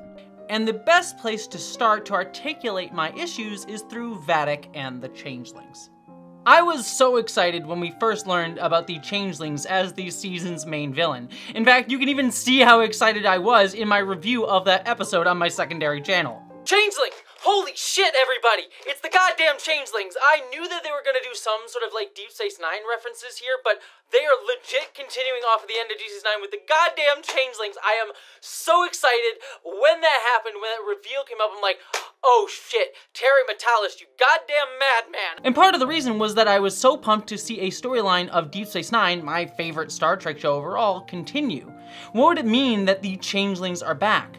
The Dominion War of that series was a foundational shift for the entire Star Trek universe. But since Deep Space Nine ended and Voyager was in an entire other area of the Star Trek universe, we never really got to see the long-lasting ramifications of it, the, the traumas and the evolutions. And it was something that so many of us Trekkies wanted to see and we didn't really ever get to. Until now. And with this season being about the traumas of the last generation passing on to the next, addressing the Dominion War and its ramifications and the traumas stemming out of it would be a perfect choice. And as we got to learn and see more about these changelings this season, I was really curious to see how they had evolved. How had they changed so that the blood test didn't work? We even see them kill each other in one scene, which seems to go against a core part of the changelings ideology as it was presented in Deep Space Nine, that they don't kill each other. No changeling has ever harmed another. Until you. That's why we forced you to return home. To enter the Great Link and be judged. It was so core to the ideology that it caused them to exile Odo in Deep Space Nine when he killed another changeling in self-defense. So what caused the shift? But most importantly to me, what was this new changeling's ideology that led them to want to go after Jack Crusher and also seemingly have a huge hatred for the Federation, more so than simply them being on the losing side of a war? And the answer that this season of the show presented to us was its most interesting. In episode 7, we hear Vadic's sobering backstory. First and foremost, she has a hatred for the Federation due to their attempted genocide of the Founders. A genocide that was only stopped by Odo in Deep Space Nine choosing to give it to the Great Link so that the war would end. A virus. We gave your people a cure. Is that the tale of your history books? Hmm. You created a cure, yes. But Starfleet voted not to give it to us. One of our own had to steal it. If you remember, Bashir in that show only made the cure for Odo himself, and the Federation was actually unwilling to give that cure to the Founders. It was Odo who finally gave it to them, and Vadic is understandably pissed that the Federation was willing to commit a genocide in order to win a war. We were barely out of the gates of war, and your Federation turned to genocide. And it's fucked up that the Federation was willing to allow that to happen, going against the Federation's stated ideology, and Vadic is understandably pointing out the hypocrisy. True, my understanding recognizes the travesty of the Dominion War. Do not compare the atrocities committed by your side to the warfare executed by mine. There never would have been a war had the changelings not initiated it. Necessity. Solids like you were coming, and, and you ruin every world you touch. Now, the Dominion wasn't right either. In fact, it's clear that their plan in Deep Space Nine was to also genocide humans if they won. The key to holding the Federation is Earth. If there's going to be an organized resistance against us, its birthplace will be there. You could be right. Then our first step is to eradicate its population. But she does have an understandable grievance pointing at a failure of the Federation to live up to its ideals in a pretty disgusting and horrible way. On top of that, this season also compounds the issues with the Federation as we also learn that an organization, potentially Section 31 though it's not necessarily named, had kidnapped her and several of her changeling siblings and tortured and did horrific tests on them. Inflicting more torment on me. And those I loved. So don't tell me I have no regard for love, or innocence, or pain. So not only does Vadic have an ideological grievance, she has a very, very personal one too, and I love this. I think it's an understandable viewpoint that does not justify Vadic's horrific actions, but does make it understandable where her hatred and vindictiveness comes from, and it's actually one that is a core grievance, and it's actually one that is pointedly addressing an issue of the Federation's choices. Yet, my problem with how the season handles it is that the show needs to address the issues that it brings up with the Federation. But in actuality, we never really wrestle with the implications of it. We get a few scenes to feel sad for Vadic, yes, but we never really get a moment for the show to really grapple with her concerns and targeted criticisms of the Federation. In fact, immediately after the scene where she gives her backstory, Picard and Beverly go and instantaneously decide that they should execute her because she's too hateful. Remind herself of her hate. You're right. She's an executioner for her cause.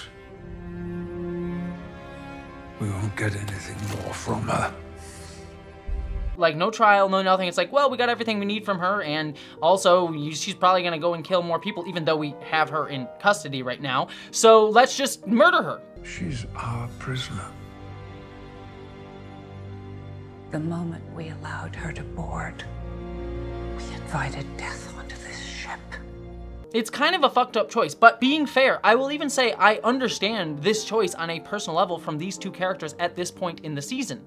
They're both parents trying to protect their kid as well as the Federation, and they're in a dangerous situation that they don't know if they can hold Vadic indefinitely. And even Beverly herself states that she's not thinking entirely rationally. Willing to compromise everything. Everything that we've believed in. Yes. I think I'm losing my compass. It's a dark choice that, as a character decision for Picard and Beverly in this moment, makes sense. I don't agree with them, but I understand how they got to that decision. It's kind of like Janeway and Tuvix again. Sorry, still too soon? Each of you is going to have to live with this. Yeah, yeah, too soon. Yet, after this scene, the show never confronts the choice that Beverly and Picard make to kill Vadic, or even really brings it up again. Even Vadic, after she escapes, doesn't even try to confront them and say, you didn't even attempt to reach out to me. You just went to straight to murder. Like, quite literally, Beverly and Picard showcased the exact problem that she was pointing out about the Federation, and there's just no addressing of it at all. In fact, Vadic just goes on to become murdering people, and she's just displayed as kind of pure evil after that point.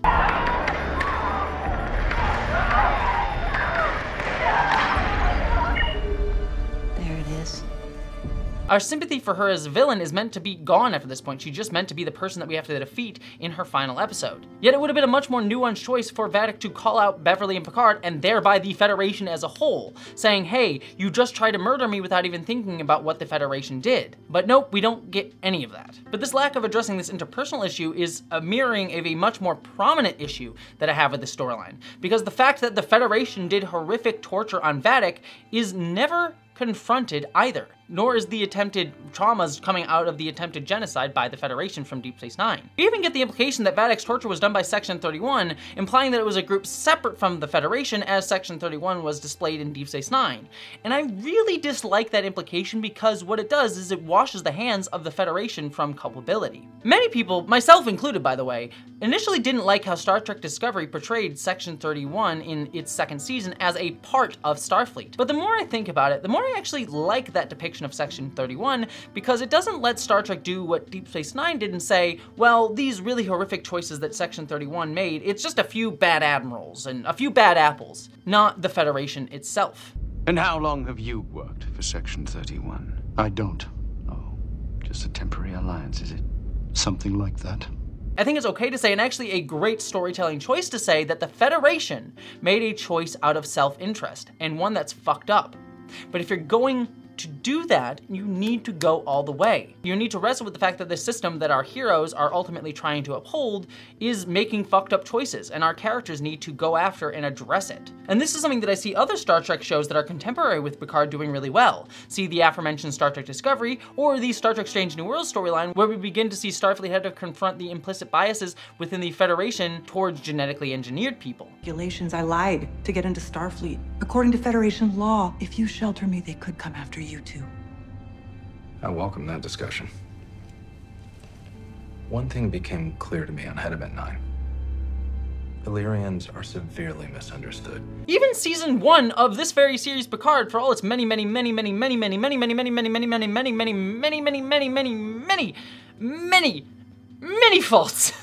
I think understood this better, as that season attempted to showcase the Federation failing to live up to its ideals with its treatment of both Romulans and synthetic life. We still don't know why the synthetics went rogue and did what they did that day. But I believe the subsequent decision to ban synthetic life forms was a mistake. Now, that season fails to fully resolve that idea, having it all just be fixed by Picard giving a big speech. That's the whole point. That's why we're here. To save each other. And a one off line at the end saying the prejudicial system legislation ban on synthetic life was repealed overnight, and thereby apparently all of synthetic bias was gone as well. And now that they've lifted the ban on synthetics, I'm free to travel. So that season never really directly resolves this question with any sort of nuance, but it does at least attempt to implicate the Federation at least, and tries to say that it's a failing of the Federation. I like it when the Federation is used in Star Trek as a society that strives for an ideal, but fails at it at times, as we see it best utilized in Deep Space Nine or even in elements of TNG with episodes like Measure of a Man. Now, the decision you reach here today will determine how we will regard this creation of our genius. It will reveal the kind of a people we are, what he is destined to be. It will reach far beyond this courtroom and this one android. It's saying that it's easy to be a state in paradise, but you have to continually earn and live up to that paradise. You have to stay vigilant, not accept that the status quo is good for everyone, lest the system becomes stagnant and end up only serving the most powerful or privileged within it. It's what makes Star Trek relevant to today to say that the status quo is not good for everyone.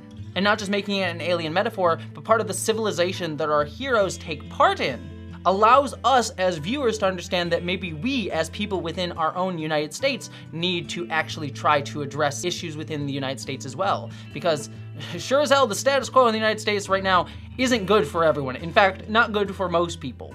Yet, in Picard Season 3, the story never confronts the Federation as culpable in its actions towards Vadic. After Vadic is killed in an Air Force One callback two episodes before the finale, we never again bring up her understandable grievances against the Federation.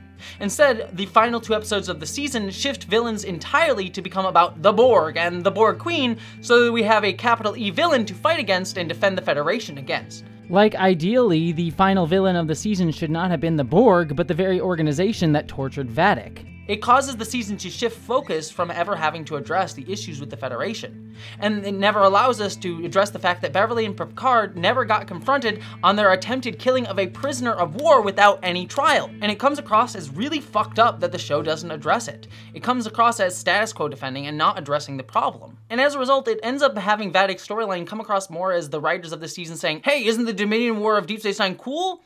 But the reason the Dominion War was cool was because of the ethical questions it raised within a Star Trek framework, not because it was a war within the Star Trek world, or hey look, the changelings. What made Deep Space Nine work so well as a series was that it asked hard questions, explored them, and found that in that exploration that it didn't always have the answers, yet wanted to at least present them to the audience to ponder. And if your conscience is bothering you, you should soothe it with the knowledge that you may have just saved the entire Alpha Quadrant, and all it cost was the life of one Romulan senator, one criminal, and the self of one Starfleet officer. Yet here in Picard, it gives a superficial feeling like it asked hard ethical questions, but it doesn't really care to explore them. They just brought them up and then moved on. It doesn't allow us as the audience to sit and think, is that okay? Is that right? No, we end up just defending the Federation and saying, yeah, no, Federation's perfect, don't worry about any other problems. Nor are there any Deep Space Nine characters in this season of Picard, other than Worf technically, who have an on-screen history in connection with the Dominion storyline, and thus would have to address their actions towards the Dominion as well. Like, it would have been interesting to see maybe Bashir have to wrestle with the fact that he never chose to give the cure to the Great Link. It's a failure on Bashir's part as a doctor. So by having this disconnection between the villains of the series and our TNG characters, it allows our TNG characters to remain pure in our minds in a way that we wouldn't be able to if we had had Deep Space Nine characters who had dealt more directly with the Dominion in a more morally ambiguous way. I don't need a big moral speech from Picard, but I would have liked to see fallout or discussion rather than say, well, let's murder her in a war crime to hide our other war crimes and then never talk about that again. Instead, we protect Picard's ethical purity by ignoring his morally dubious actions. I didn't know. How remarkable it is that an enlightened species can ignore each other's pain. I mean, at least Sisko had a whole I can live with it moral crisis when Garak killed Mr. It's a Cake over here. It's a fake. Wait, he says it's a fake? I've misheard that this whole time. The cake is a lie. Speaking of evil murderous robots, yes, that's the transition that I'm going with, we also have another plotline in a Star Trek show about AI taking over Starfleet ships in a season finale. It's a storyline we've already seen in Star Trek Discovery Season 2, Star Trek Prodigy Season 1, and Star Trek Lower Decks Season 3. Aledo, do you understand? I said attack the Cerritos! I don't take orders from you anymore, father. What? Aledo, deactivate independence! Sorry everybody, uh, I had to change out of that costume because I literally could not breathe in it. I had to put away the Borg assets as it were. It all just feels repetitive, and not only that, while I get the idea that AI is a modern day issue in our capitalistic society today, where AI is pushing people out of much needed jobs, I think in a Star Trek post-money future, it's kind of backwards thinking. This constant framing of AI as a villain is Star Trek as a franchise constantly framing new technology as a source of fear and anxiety, when Star Trek as a franchise has generally been more about trying to incorporate new technology and actually seeing it on its own terms, and trying to wonder what that would mean if we did incorporate it into our society in the most ideal way. A lot of data storylines were all about how do we as a society incorporate something like Data and how we think about him and maybe even give him his own agency and see him as a person. Your Honor, Starfleet was founded to seek out new life. Well, there it sits. Waiting. And it's why I've really loved the Zora storyline that we've seen going on in season 4 of Star Trek Discovery, which itself is about confronting bias and prejudice in the face of new technology and trauma, and one that moves forward with the idea of AI being accepted, not vilified. It's my official determination that Zora is indeed a new life form. It feels marvelous. What does? Being seen. If I hadn't changed my mind, would you really have extracted her? My evaluation was as much about you and the others as it was about Zora. I can see now that partnership is possible on both sides. But if that hadn't been the case, I would have recommended that you be reassigned to another ship. As it should be. And so seeing AI be used this way in Picard, and also Lower Decks and Prodigy as well to a degree, feels kind of regressive of that. But now that we've talked about AI and the Dominion, it's time to talk about this season's big villain, the Borg. So let's talk about what the Borg are meant to represent in this season thematically. With the Borg Queen in mind, we must consider what the Borg stand for with her. As I said before, when you have the Borg Queen put into the context of the Borg, it changes the Borg from a sort of nebulous natural disaster metaphor to one that represents more authoritarianism and fascism. Jack Crusher even says this in episode 9. He calls the Borg Queen cybernetic authoritarianism. I always thought if people could only see each other, hear each other, speak in one voice, act in one mind together, Who knew a little cybernetic authoritarianism was the answer? By the way, some people read the Borg as like representing communism or whatever, which I think is a complete misreading of the Borg. I mean, the Federation itself is very communistic in terms of how it's presented throughout the series, though we don't really ever dive into detail of how, how the economics and political structure of the Federation work. But in terms of how it seems to be representing, in terms of its vibes, it's much more communistic. The Borg could represent a sort of more authoritarian in communism that we saw with like people like Stalin, but that does sort of go back more into authoritarianism than it does into communism. And I feel like people reading the Borg as communism kind of stems from our Western, especially United States culture of vilifying communism and collective action over individual one. But getting back to the Borg Queen, the fascism metaphor fits really well because fascism's appeal is that it tricks you into giving up your individuality for the whole because it makes you believe that you should fit the role of the more extensive system. You should become a cog in a greater machine for the state or the nation rather than society being the thing that enables you to find your own role for yourself, as we see, for example, the Federation doing. Fascism, and the Borg as well, say be a drone for the more significant state collective and our desire for endless consumption, growth, war, and death and assimilation in pursuit of our larger goal, perfection. For example, we're talking Nazis' versions of fascism, their perfection was the Aryan ideal, and they wanted to assimilate the Earth by expanding German territory and trying to replace everyone with their Aryan ideal. And the Borg Queen herself kind of has this same goal of trying to replace everyone with the Borg and press them all into cogs for the machine that she views as perfection. Human. We used to be exactly like them. Flawed, weak, organic. But we evolved to include the synthetic. Now we use both to attain perfection. Your goal should be the same as ours. And the appeal for individuals who become fascists within a fascist state is that they find comfort in feeling that they are taking part in something larger, a part of something bigger. You probably can't imagine what it is like to be so lost and frightened that you will listen to any voice which promises change. Even if that voice insists on controlling you. That's what we wanted. Someone to show us a way out of confusion. Lore promised clarity and purpose. In the beginning, he seemed like a savior. Promise of becoming a superior race, of becoming fully artificial was compelling. We gladly did everything he asked of us. But after a while, it became clear that Lore had no idea how to keep his promise. That's when he began talking about the need for us to make sacrifices. Never mind that no person can ever fit that role that they're supposed to fit into because the state just sucks you dry without caring for you as a person. But it can feel comforting and appealing to feel that you have a purpose, even if the purpose is for the state, not yourself.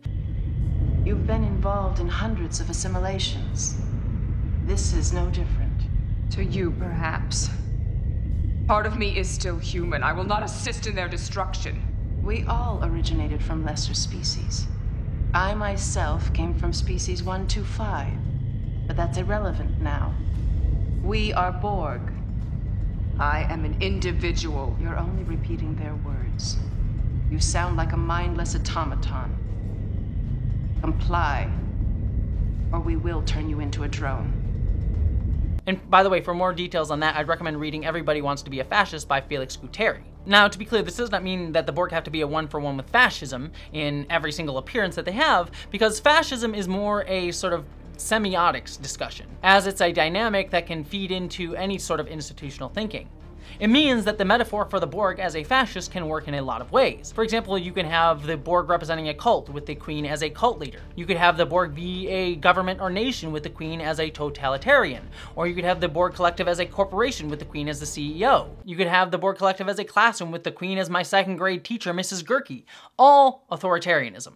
The Queen becomes the authoritarian leader that everyone serves as a drone for, like workers serving a CEO, the citizenry for an authoritarian, or cultists with a cult leader. And another example that you can put the Borg into is when you think about them in a queer context, with the Borg becoming to represent a heteronormative society, one that tells you that you must not be queer, but be straight. Don't be trans, but be your assigned gender, and marry the opposite gender and have your 2.5 kids for the heteronormative society. Now, before all of you say, Jessie, why are you reading queerness into the Borg? I think it's actually really relevant to be discussing the Borg in a queer context because this season of the show brings it up specifically with the character of Seven of Nine. Seven of Nine throughout this season was repeatedly used as a transgender metaphor, which Terry Matalas himself mentioned was intentional. As I talked about before, Seven of Nine was dead named by Shaw, someone who doesn't see her as a whole person because of his stigma against ex-Borg like Seven and Picard. Will, this is Seven of Nine. Commander Annika Hansen, sir. Captain Shaw prefers that I use Hansen. And this metaphor actually works really well because we've already seen that Shaw has an understandable trauma stemming from the Borg. He has a trauma of the society that wanted to make him a drone and killed his friends. I'm just some dipshit from Chicago. Now I'm lucky number 10. But he has scapegoated this trauma and anger not onto the Borg, but onto XBs like Seven or Picard, whom he doesn't see as victims of the Borg society, but as representations of it. Do you know where your old man was? On that day?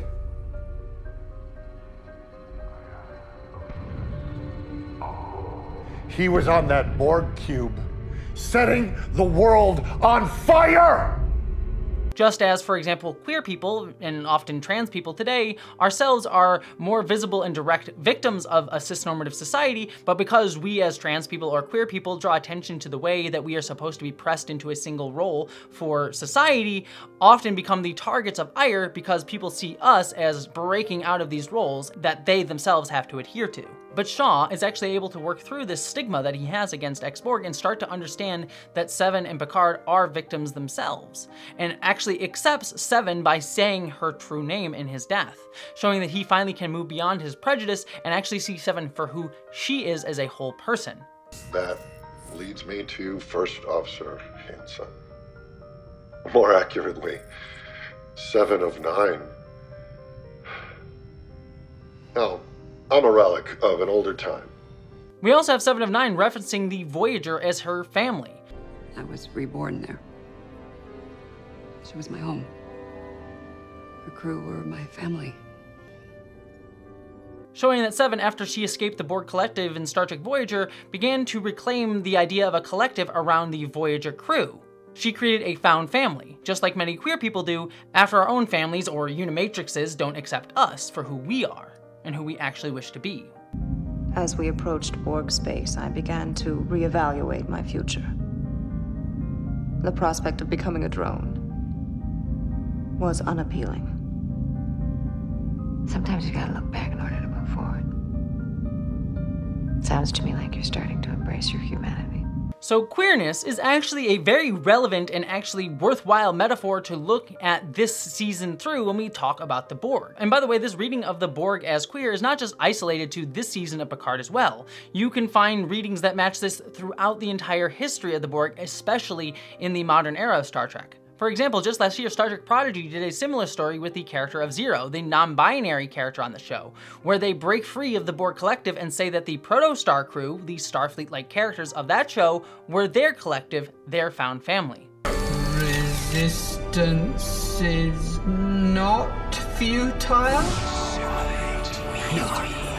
I will resist. Because I'm already a part of a collective that is stronger than you will ever be!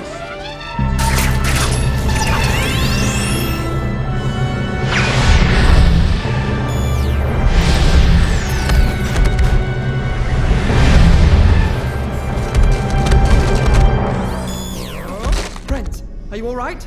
We must hurry. I lured them into a dormant state, but it won't hold for long. I thought we lost you. I've already found my collective. You can also look at the XBs from Star Trek Picard Season 1 as also people who escaped the Borg society and ended up finding their own found family with each other. At least, as a citizen of the Federation, I can leave at any time. Unlike all the other XBs on this cube. XBs? Former Borg. It's what we call ourselves. A new name can be the first step to a new identity. Trying to deal with the trauma that they faced from that collective, but also facing their own stigmas despite them finding their own found family from the Romulan society that they exist in. Still, we remain the most hated people in the galaxy. Just as helpless and enslaved as before. Only now, our queen is a Romulan. And it is by no means incidental that the head XB, Hugh, is played by Jonathan Del Arco, a gay man, who said he intentionally played the character all the way from his initial appearance in The Next Generation as an ode to a gay friend who died from HIV. I can remember being a vulnerable, effeminate boy of 10 when we first moved to the United States, sensing danger, afraid that if people found out I was gay, I would be cast out, bullied, or worse. Years later, in my 20s, was afraid again because I was in love with a guy battling AIDS, and I saw firsthand the kind of discrimination he faced in employment and in the healthcare system. With ultimately the Federation coming to represent the ideal version of this, where queer people and ex-Borg are allowed to flourish and be their full selves, accepted by society as Seven and Picard are. So why does this all matter? Why is this an issue for me, especially if Seven of Nine storyline was perfectly well suited for this metaphor? Well, when we look at Jack and Picard, this reading of queerness actually really fits very well. Jack actually uses a lot of the same language of queer people when articulating that he has a feeling that the Borg are part of himself, something that was passed on to him by his father. Listen to a lot of the ways that Jack discusses his Borg self. I've always felt different. Like. like there's something wrong with me.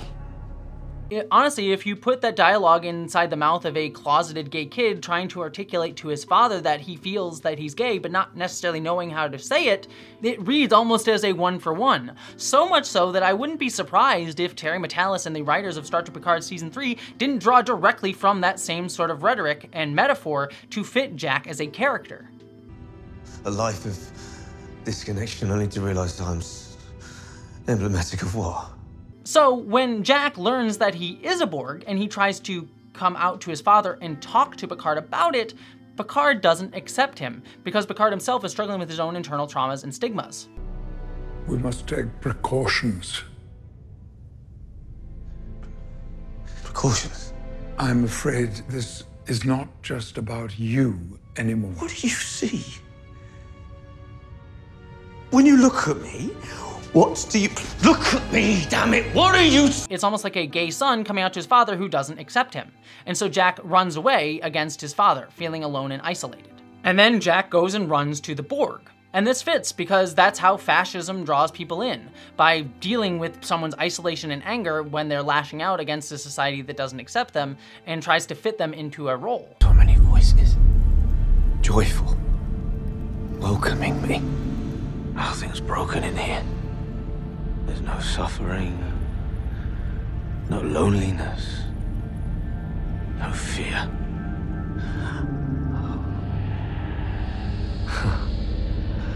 It's perfect. But Jack, this euphoria isn't real. Perfection isn't evolution. This is death. This is where I'm meant to be. Yet, the problem becomes that because Jack has already discussed him being a full Borg in terms of queer metaphor, it frames the Borg itself as being fully gay. That his desire for a collective and finding a found family that Jack feels comes out of his Borg parts. A life of disconnection only to realize time's emblematic of what? A bee? Seeking a hive for, for a collective, for a queen? Subconsciously, perhaps. This issue is further compounded when we look at Picard, who also has trauma stemming from the Borg. So his rejecting of Jack is not as a father who doesn't accept queerness, it's as a father who has trauma stemming from the same thing that Jack is dealing with. When you look at me, what do you. Look at me, damn it! What are you I came close to killing everyone I knew. Everyone I loved. You don't know what it is to be controlled by them. What she can make you do. As a result, this mixes the metaphor in a really problematic way that frames the Borg, the fascist society that Jack runs to, that is clearly used as a fascism metaphor within this season as well. I've always known the world was imperfect. The broken systems, wars, suffering, violence, poverty, bigotry. And I always thought if people could only see each other, hear each other, speak in one voice, act in one mind together. Who knew a little cybernetic authoritarianism was the answer? As the thing that Jack needs to expunge and cure himself of or deal with. The same thing that Picard himself is dealing with, which conflicts with viewing being an X-Borg having escaped this society as being able to be your full and complete self. You really okay with this? Maybe better than okay.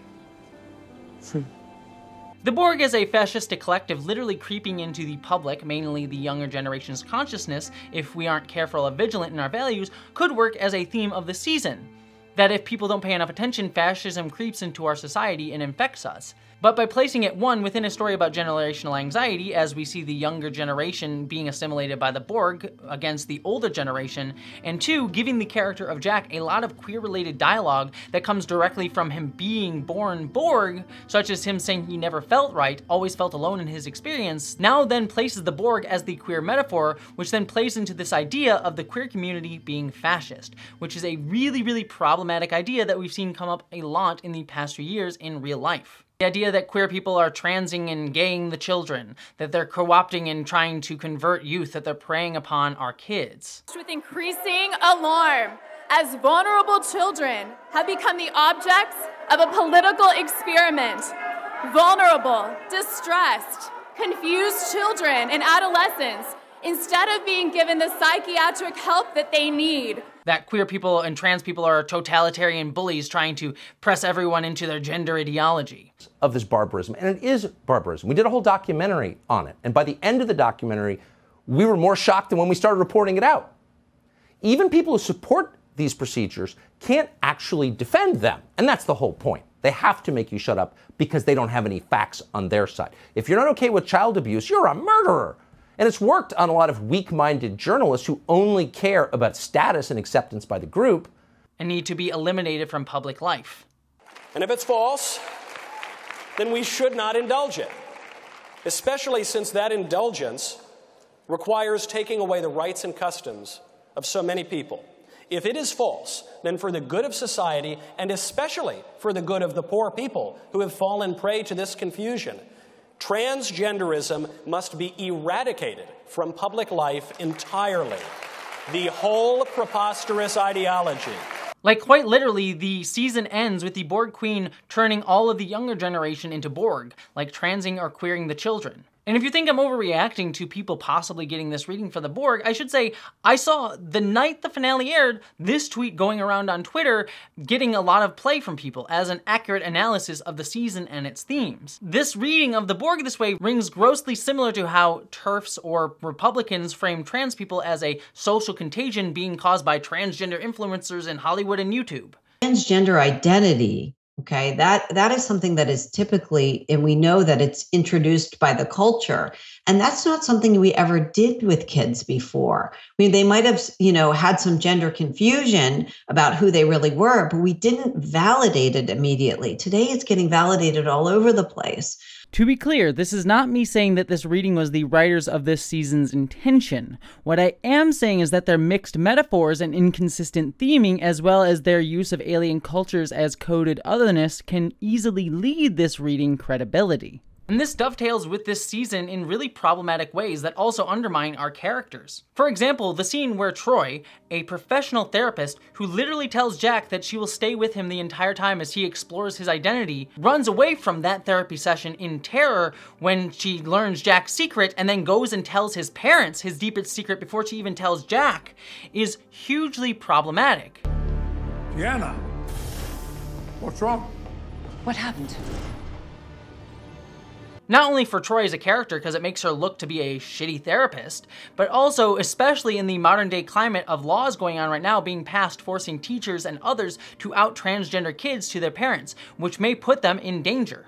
And this is a problem throughout the entire season where Jack as a kid is shown not to be able to have agency in his own medical decisions. Like for example when Beverly shares Jack's medical information with Picard without checking with Jack first. You're certain? The portions of the brain related to cognition, imagination, all affected. According to this, Jack has Irumodic syndrome. Inherited from me.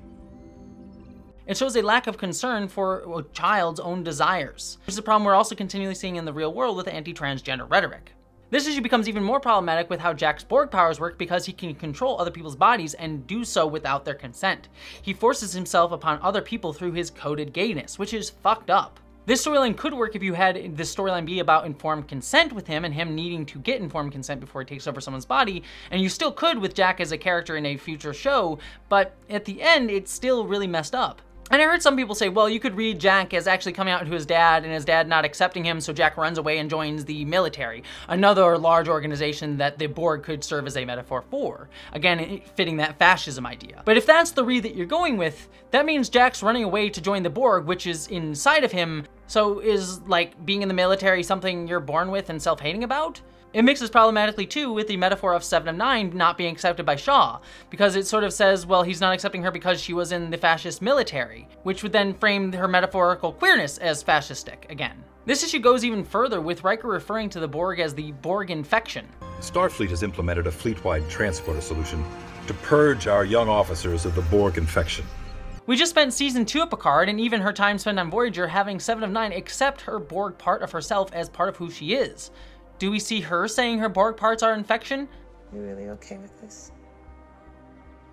Maybe better than okay. Hmm. That line of wording, again mixing with the metaphor of her being trans, is problematic, especially if we think of the anti-gay and anti-trans rhetoric going around today, that trans people are a social contagion infecting the children that needs to be cured. What many of these researchers, including myself, have come to believe is that many of the trans identifying kids are identifying this way not because of some lifelong gender dysphoria, but rather it's due to an echo chamber of social media. Now, this echo chamber produces a kind of social contagion. And all this feeds into a kind of, kind of older mentality of a generational anxiety, of kids of the younger generation being a source of fear for the older generation. It plays into this very boomer style fear that the kids are coming to get you with their AI computers and their technology, especially considering we have AI being what's used to facilitate fascism entering into the Starfleet ships. It frames the younger generation simply as a source of existential dread as replacing and murdering the older generation in a very Oedipal way, and we even have an Oedipal mother figure in the Borg Queen. For example, the way the Borg were written in this season goes back to the way the Borg were written in the early 2000s, before they were updated in things like Star Trek Picard Season 1 or Star Trek Prodigy, with the Borg being framed as queer fear. One could read the Borg at the time as a contemporary fear of encroaching otherness in a society that cannot assimilate into the larger American, or in this case Federation, culture. Thinking about the male homosocial aspect of the Borg and the ways in which the Borg Queen simultaneously disrupts and extends the homoerotic implications of this homosociality only deepens the questions of the intersection of race and sexuality here and everywhere in Trek. The Borg are a cartoonish totalitarian antithesis to Trekkian liberal humanism. The Borg of First Contact are a primeval horde with no father, only a phallic, erotically fulfilled, and libidinally platonous mother. The appearance of the Borg Queen can be seen as a triumphal assertion of the pre-Oedipal mother filling the space on the screen and, by extension, spectorial desire with the absolute plenitude of her delicious jouissance. If the Borg are an allegory for a queer subculture, they are specifically an allegory of queerness as a race. Anonymous and continuous, the exchange of fluid data among the Borg conjures the fleeting faceless sex in bars, bathrooms, and public parks of the gay sexual demimonde in the 70s and early 80s. Picard is forced into the endless homosexual link of the hive mind, as well as made witness to prosthesis enhanced, cybernetically heightened queer Borg sex.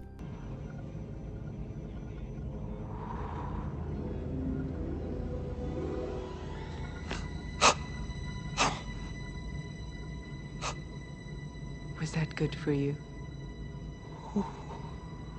That quote that was just read was from a book that analyzed the Borg in Star Trek as queer before Star Trek 2009 came out.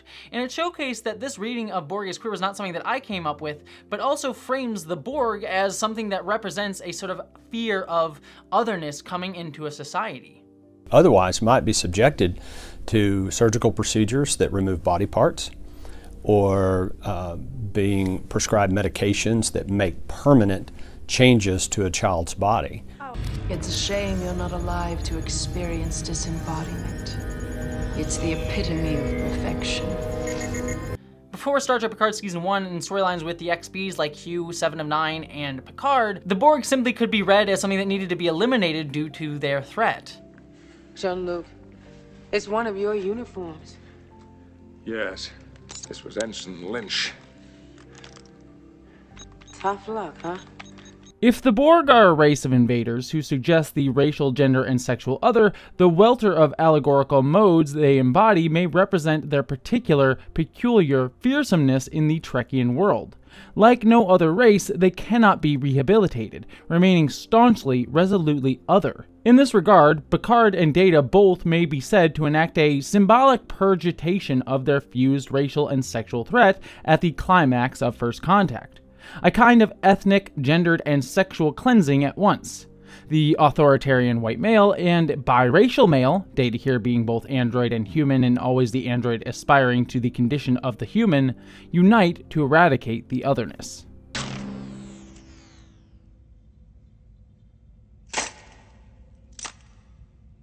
This is why I kind of wish Jurati Borg had been done much better than she actually was, because conceptually, the idea of integrating the Borg into the Federation is one that actually really resurrects the Borg's otherness as a way to integrate into Federation society, rather than coding the Borg as simply enemies who needed to be eliminated.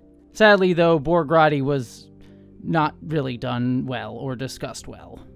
Yet, understanding that XBs were victims of a larger society reframed the metaphor. Yet, Star Trek Picard Season 3 returns to this idea, with Jack needing to cleanse himself of his otherness to be able to fully integrate into Federation society and join Starfleet. Whereas before, when he had his Borgness as a part of him, he was relegated to living on the outskirts of society with his mother. Yet now he's able to cure himself of the woke mind virus that has infected the youth of Starfleet and become a model citizen. Alongside his father. And on top of that, all of the entire younger generation of Starfleet should also have trauma from having been Borg now. They should all be ex-Borg and know what it's like that Seven and Picard have faced sort of stigmatization as Borg. So it would create an entire generational gap of trauma. Yet none of that is addressed, and we just get a joke about nepotism. For Starfleet to put you on such an accelerated track, trust me, it's an honor. Well, nepotism.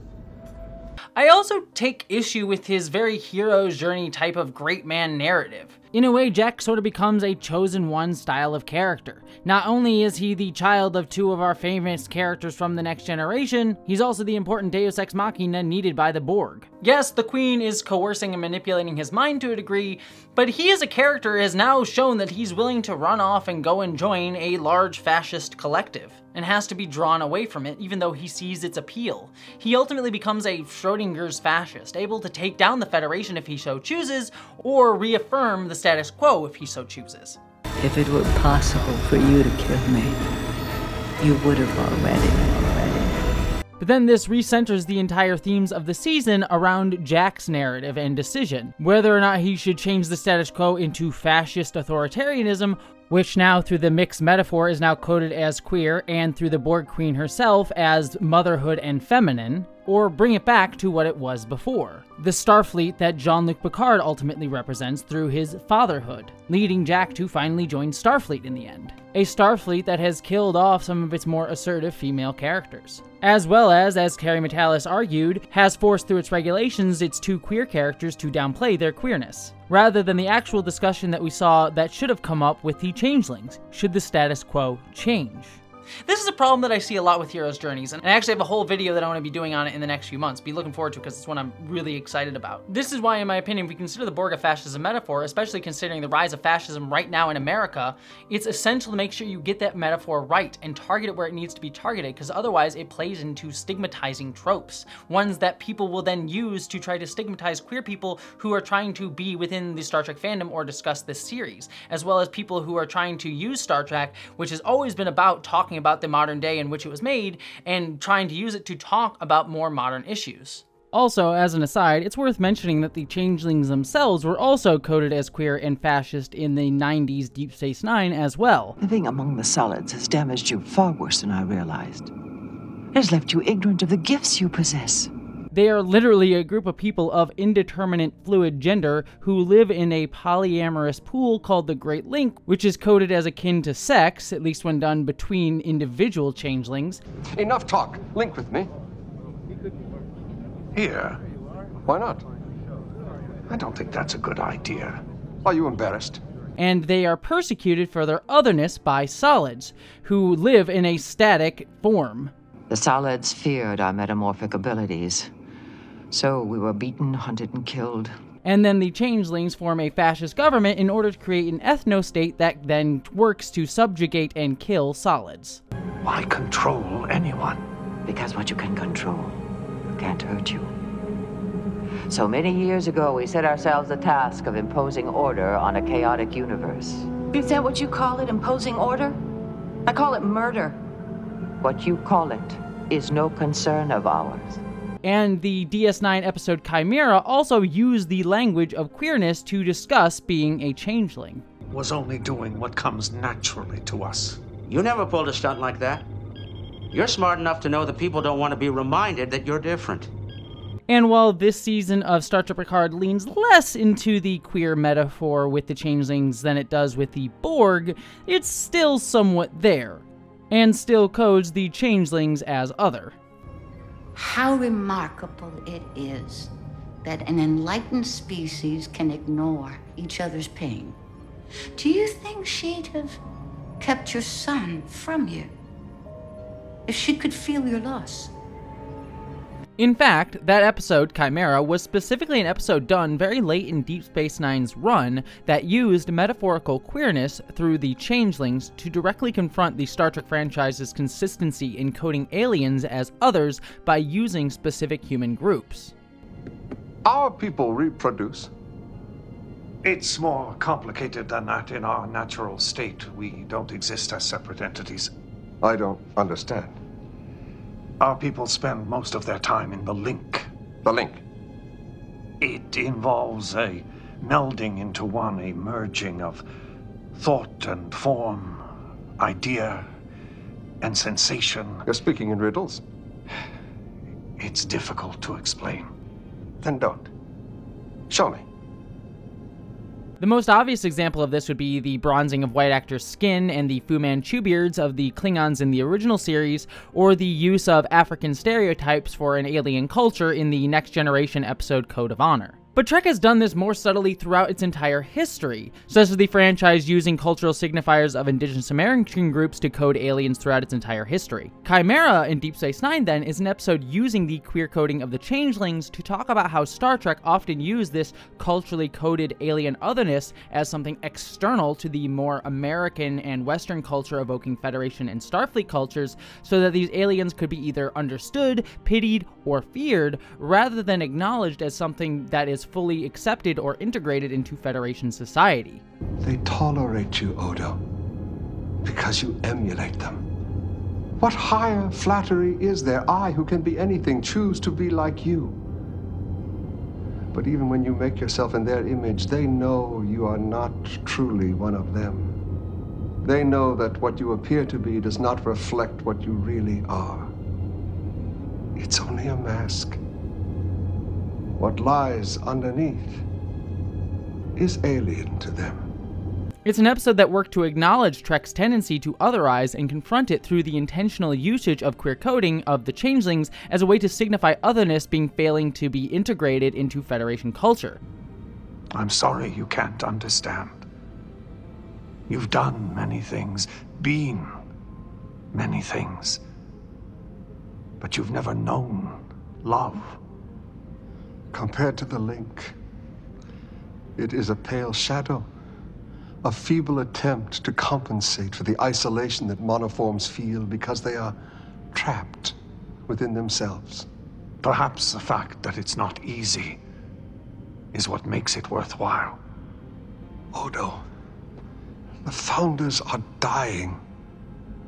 This could be your last chance to exist the way you were meant to. Don't throw it away. And this ethos of attempting to reckon with the franchise's uses of otherness and its needing to be integrated into Federation society rather than just simply viewed through the lens of otherness is something that previous seasons of Star Trek Picard tried to do with the XBs, the Synths, and the Borg with Jurati. You long for what we all long for connection, longevity, discovery. Only you offer it without choice though doing so in a much less nuanced way than Deep Space Nine did, and frankly, kind of in badly written ways. But conversely, this season of Star Trek Picard, Season 3, just returns to viewing aliens such as the Changeling and Borg through that monstrous culturally coded otherness. And how exhausted they must be. As am I, dear. As are we. As are our brothers and sisters who suffer each day having to wear the faces of the Federation. Right down to the visual effects for the Changeling's morphs being more gross and disgusting, or the usage of queer metaphor for the Borg throughout the season.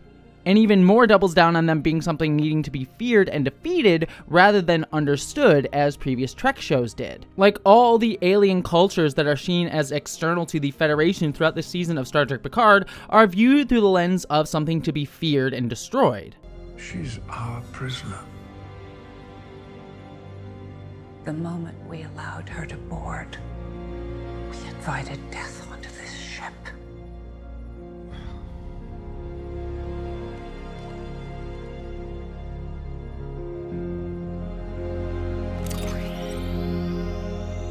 rather than seasons 1 and 2 in Picard, which ended on storylines of accepting these differences into the Federation culture, or at least coexisting with them.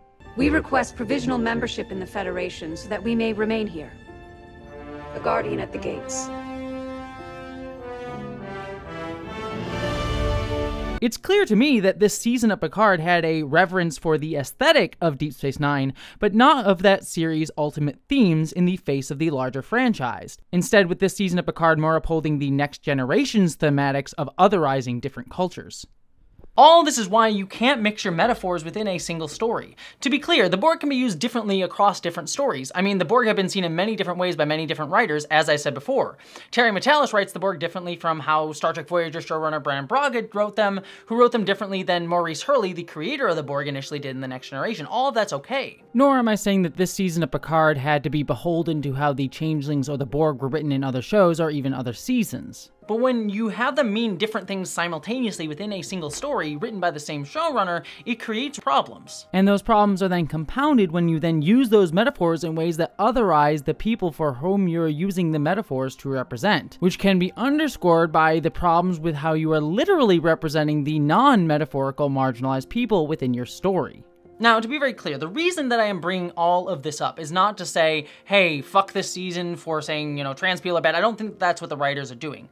The reason I bring this up is because I find it to be problematic, number one, and number two, to point out how this season kind of doesn't feel very targeted in the types of story it's trying to tell. Yes, it's a fun adventure plot, but when you scratch beneath the surface, the mixed metaphors of Vadic, for example, in The Changelings, or the Borg Queen end up feeling so mixed and muddy that it just leaves the season feeling thematically unresonant.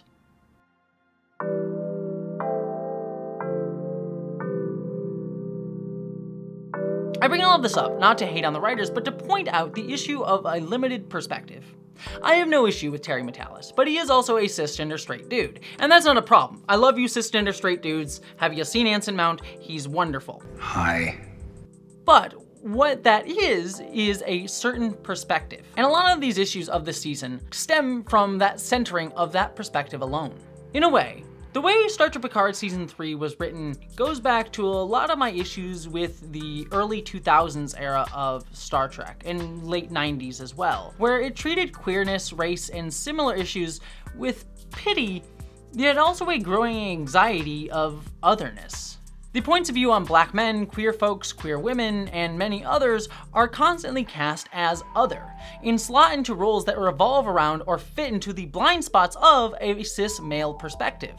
It's not a bad perspective, but it is one that is limited in terms of the stories that it usually slots people of other backgrounds and depictions within. On top of that, it's a perspective that comes from a position of often benefiting from many of the systems that we currently have in the United States. One where systemic injustices work to make themselves invisible to men like Terry, who need to take an active step in understanding them because they don't often directly face them.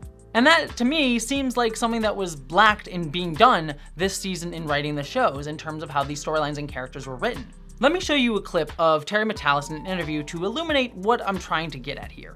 Terry, can you speak to that a little bit, like in terms of making sure that Picard is diverse? Yeah, I don't know that it's a thing that you make sure of. It should it should just kind of be part of the DNA. Right uh, on. uh, uh, uh, of the thing, but uh, you know, it, it's nowadays when you go into casting a role, it's just open everything, open diversity, open ethnicity, everything across across the board, and um, and, and you let that dictate it. Um, but again, uh, it's a little different for me because I mean I was raised on the first interracial kiss with a Kirk and a Uhura, so. Uh, even next gen for me is um, some of these things that are certainly pointed out when we have dis- I have discussions with these gentlemen. I'm like, wow, you're right. That was horrible, right? you, you know, it- it's it's things that that you didn't see at that moment in time because you were just lost in the science fiction of it all, and you realize that was actually really horrible. As you can see in that clip, Terry discusses at the end how there were things that he missed in older Star Trek that, as he motions to the two black men next to him, he didn't recognize until others with a different perspective pointed it out to him. By his own admittance, and credit to him for doing so by the way, he wasn't aware or always understood the implications of certain episodes and themes of prior Star Trek series. For example, take the original series episode, Let This Be Your Last Battlefield. It's an episode of the original series that is often praised for using alien metaphor to discuss race relations in the 1960s. It is obvious to the most simple-minded that Lokai is of an inferior breed. The obvious visual evidence, Commissioner, is that he is of the same breed as yourself. Are you blind, Commander Spock? Look at me. Look at me. You're black on one side and white on the other. I am black on the right side.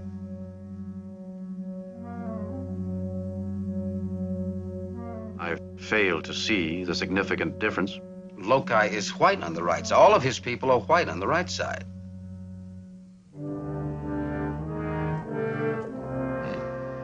And it's a really incredibly praiseworthy attempt to address something so pertinent and topical at the time in which it was made. And it's an episode that I personally love to point out to show that Star Trek has always been woke and political going back to its initial incarnation. But it's also an episode that, through its metaphor, imply that both sides of the discussions of race are equally at fault, equally to blame for hating each other. You. You keep this up and you'll never get to Cheron with your prisoner. The bridge of the ship will be irreparably damaged. This will be your final battlefield. Your 50,000 years of pursuit will have been wasted.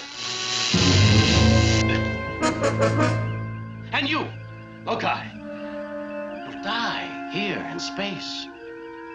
You'll inspire no more disciples. Your cause will be ended.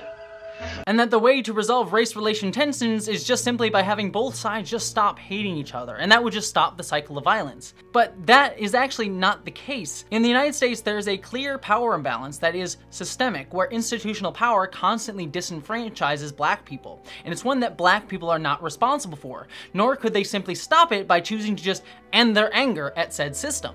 They actually need to actively constantly fight said system because if they don't, then they will be taken advantage of and disenfranchised even more. Black people did not earn rights simply by staying silent or just saying, you know what, I'm, I'm done being angry at you.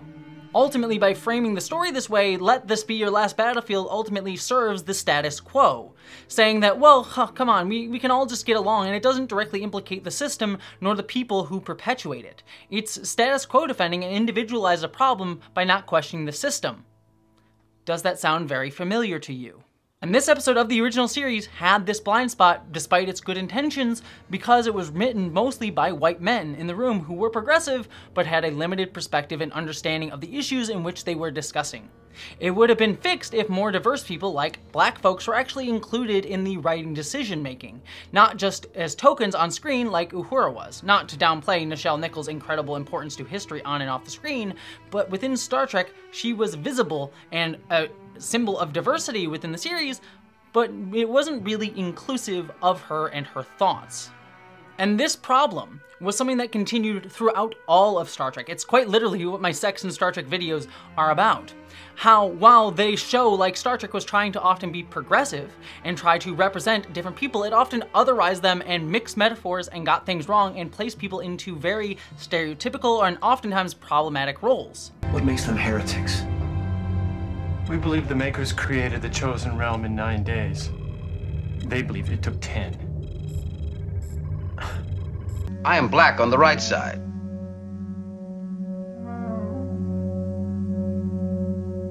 I fail to see the significant difference.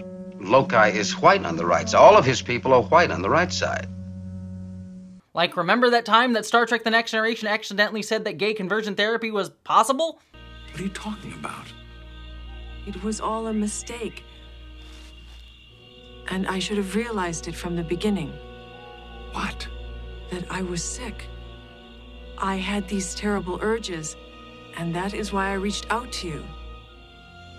But it was wrong. And I see that now. Not intentional by the show, but one that is frankly very problematic and very clearly there. But I see these same issues of a limited perspective being perpetuated within this season of Star Trek Picard, specifically when it comes to women's roles, queer people's roles, and black people's roles, as well as the intersection of all of those things. And I want to be very clear because I've seen other people assuming that this limited perspective was active malice. I've been seeing people accuse Terry Matalas of having an alt-right agenda or being transphobic or something like that, which I think is off base. I personally met Terry, and I don't know him super personally, but from talking with him, I can tell that he is supportive of trans people and many other queer folks and BIPOC folks, including people in his staff as writers and in the fandom. For example, I will be very open and say that Terry Matalas actually reached out to me after the recent attack on transgender rights after the Nashville shooting and specifically asked, what can I do for trans people? It showcased that he is a man who is able to listen to the community and care about them, and actually does wish to hear that. But I also want to be clear that I don't want to let Terry or the rest of the staff of Star Trek Picard this season off the hook. And you can even see it in that earlier clip that Terry discussed where he says you can just do blind casting calls nowadays when you go into casting a role it's just open everything open diversity open ethnicity everything across across the board and um and, and you let that dictate it and I disagree with that ethos. It's a nice ideal to have, and one day we should reach that. I, I want that to happen. But it kind of comes across as the same thing we saw during Obama era politics of like we are we're past racial issues. We live in a post-racial society. But in actuality, we live in a society that stigmatizes and systemically disenfranchises a lot of people and our voices from being heard in things like this. There's not a lot of trans writers, for example, within Hollywood. And actually, uh, as I was editing, I realized I actually wanted to make a little bit more of a longer point about this idea of colorblind casting and how it actually creates problems within this season of Star Trek Picard by reinforcing problematic narratives. Uh, and sadly, I don't have my very sexy set anymore because I did this after I filmed everything, so you're just getting this creepy, uh, like, uh, pillow of Patrick Stewart with his with his little bald head, with his little his little bald head and fish feet. It's kind of fun. Uh, anywho, the reason that you don't do colorblind casting is specifically because it can end up reinforcing problematic stereotypes of marginalized groups, particularly when you use colorblind casting uh, in parts that are sort of ancillary or to the side of the main characters that you are like specifically casting, uh, because you know where you place marginalized folks in specific situations in the background can be really problematic. For example, within this season of Star Trek Picard, there are a few times where some of the changelings that get killed by uh, Seven of Nine and our heroes transform into black people, and it and then we have our heroes, you know, vaporize them, and that reinforces this problem of us continually seeing, you know, black people being the victims of violence uh, within media. You know, there's this continued problem from like even the horror movie tropes of the black person is always the first one killed of you know black people being seen as the more disposable people and people who can be violently murdered especially when uh, you know they're placed in like the villain role of the changelings uh, when you know we get to see black people being treated as the villain and you know cannon fodder to just be tossed away with and even more problematic when you consider that being shot by people in supposed positions of authority is a very real fear for many black people.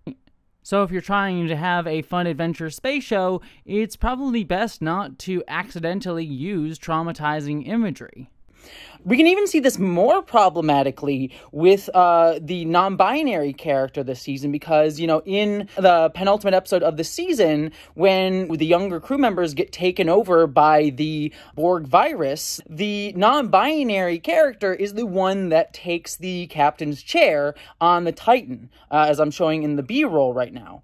And this ultimately can reinforce this idea that I've been talking about this whole video that, you know, the trans people are the ones controlling and manipulating the youth. So to have the non binary character be sort of visually, and I know the Borg are sort of more of a collective and don't have an individual leader outside the Borg Queen, but to have the non binary character be the one that you center on as the one taking the seat in the captain's chair sort of reinforces this idea subtly that non binary people, trans people, are the ones who are sort of like manipulating manipulating the youths and controlling the youths when we look at this storyline through that sort of like woke mind virus lens. And I want to be very clear none of this was intentional by the people who are working on Star Trek Picard. None of them wish to reinforce these stereotypes and stigmas through their casting. The reason that this happened, it is clear to me, is because whoever the casting director was for this season sat down and said, okay, you know, we have all these roles on the show. We, you know, we have all of our lead roles. They're pretty much cast, you know, they're from previous seasons, things like that. And hey, uh, Terry Matalas is bringing in Todd Stashwick and some of his friends from 12 Monkeys to be the other lead, you know, talking roles. So why don't we fill out the rest of the bridge crew and some of these like sort of ancillary roles of like the, uh, the, uh, villains of the series? Let's just make the show really diverse and, you know, cast some non-binary people, some black people. And it was, it was a earnest attempt by whoever the casting director was to make the show appear more diverse, you know, to get more diverse people on screen, to get them roles in a big budget TV show, you know, ultimately trying to to do good for marginalized folks. And uh, that, you know, that's a credit to them. But by doing so in a way that just sort of says, yeah, we'll cast whoever, wherever, wherever we have slots to fill, can end up reinforcing these narratives.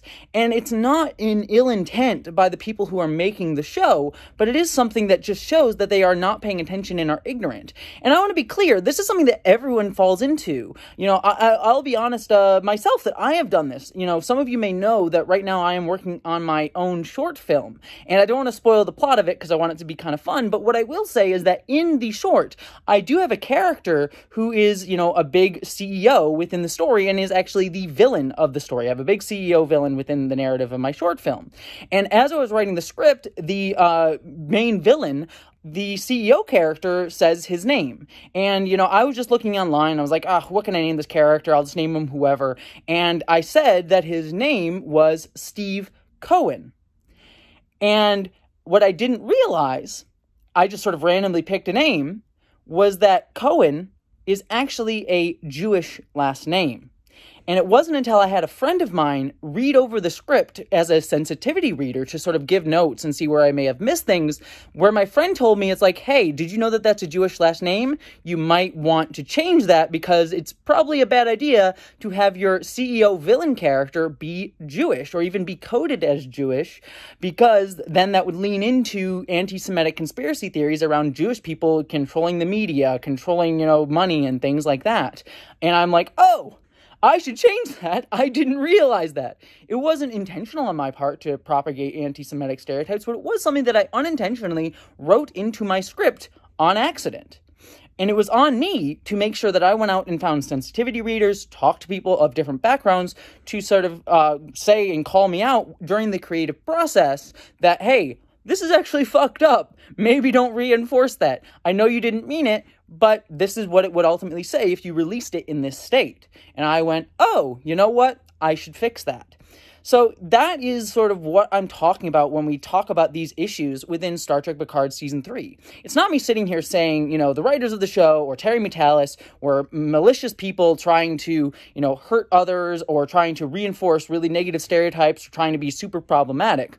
What it is me saying is that they were unfortunately not aware of these things and to me, and maybe I'm wrong, maybe I'm presuming, but to me, it looks like they didn't do the legwork to go out and, you know, look and talk to people about what uh, stereotypes they might have ended up being reinforcing, and ultimately it comes across in the show.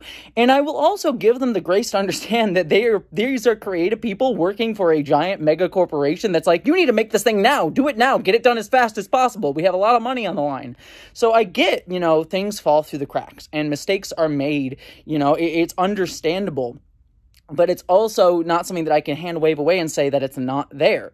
So while I can give them the grace to say, I know this wasn't malicious, I know you were under a lot of pressure, I also have to sit here as a critic and someone watching the show and say, but unfortunately, these things are there and they are a problem and they end up reinforcing bad stigmas that ultimately lend credence to darker readings of the show for people who want that because there are people out there who I'll talk about in a minute uh, in later on in this video who are looking for ways to read these really toxic and disgusting elements into the show. Not something that's intentional by the writers, but it is something that reinforces and gives them sort of leeway to discuss when they are talking about a show like this, the toxic people, I should say. Anyways, back to the video. You've now seen creepy Picard doll.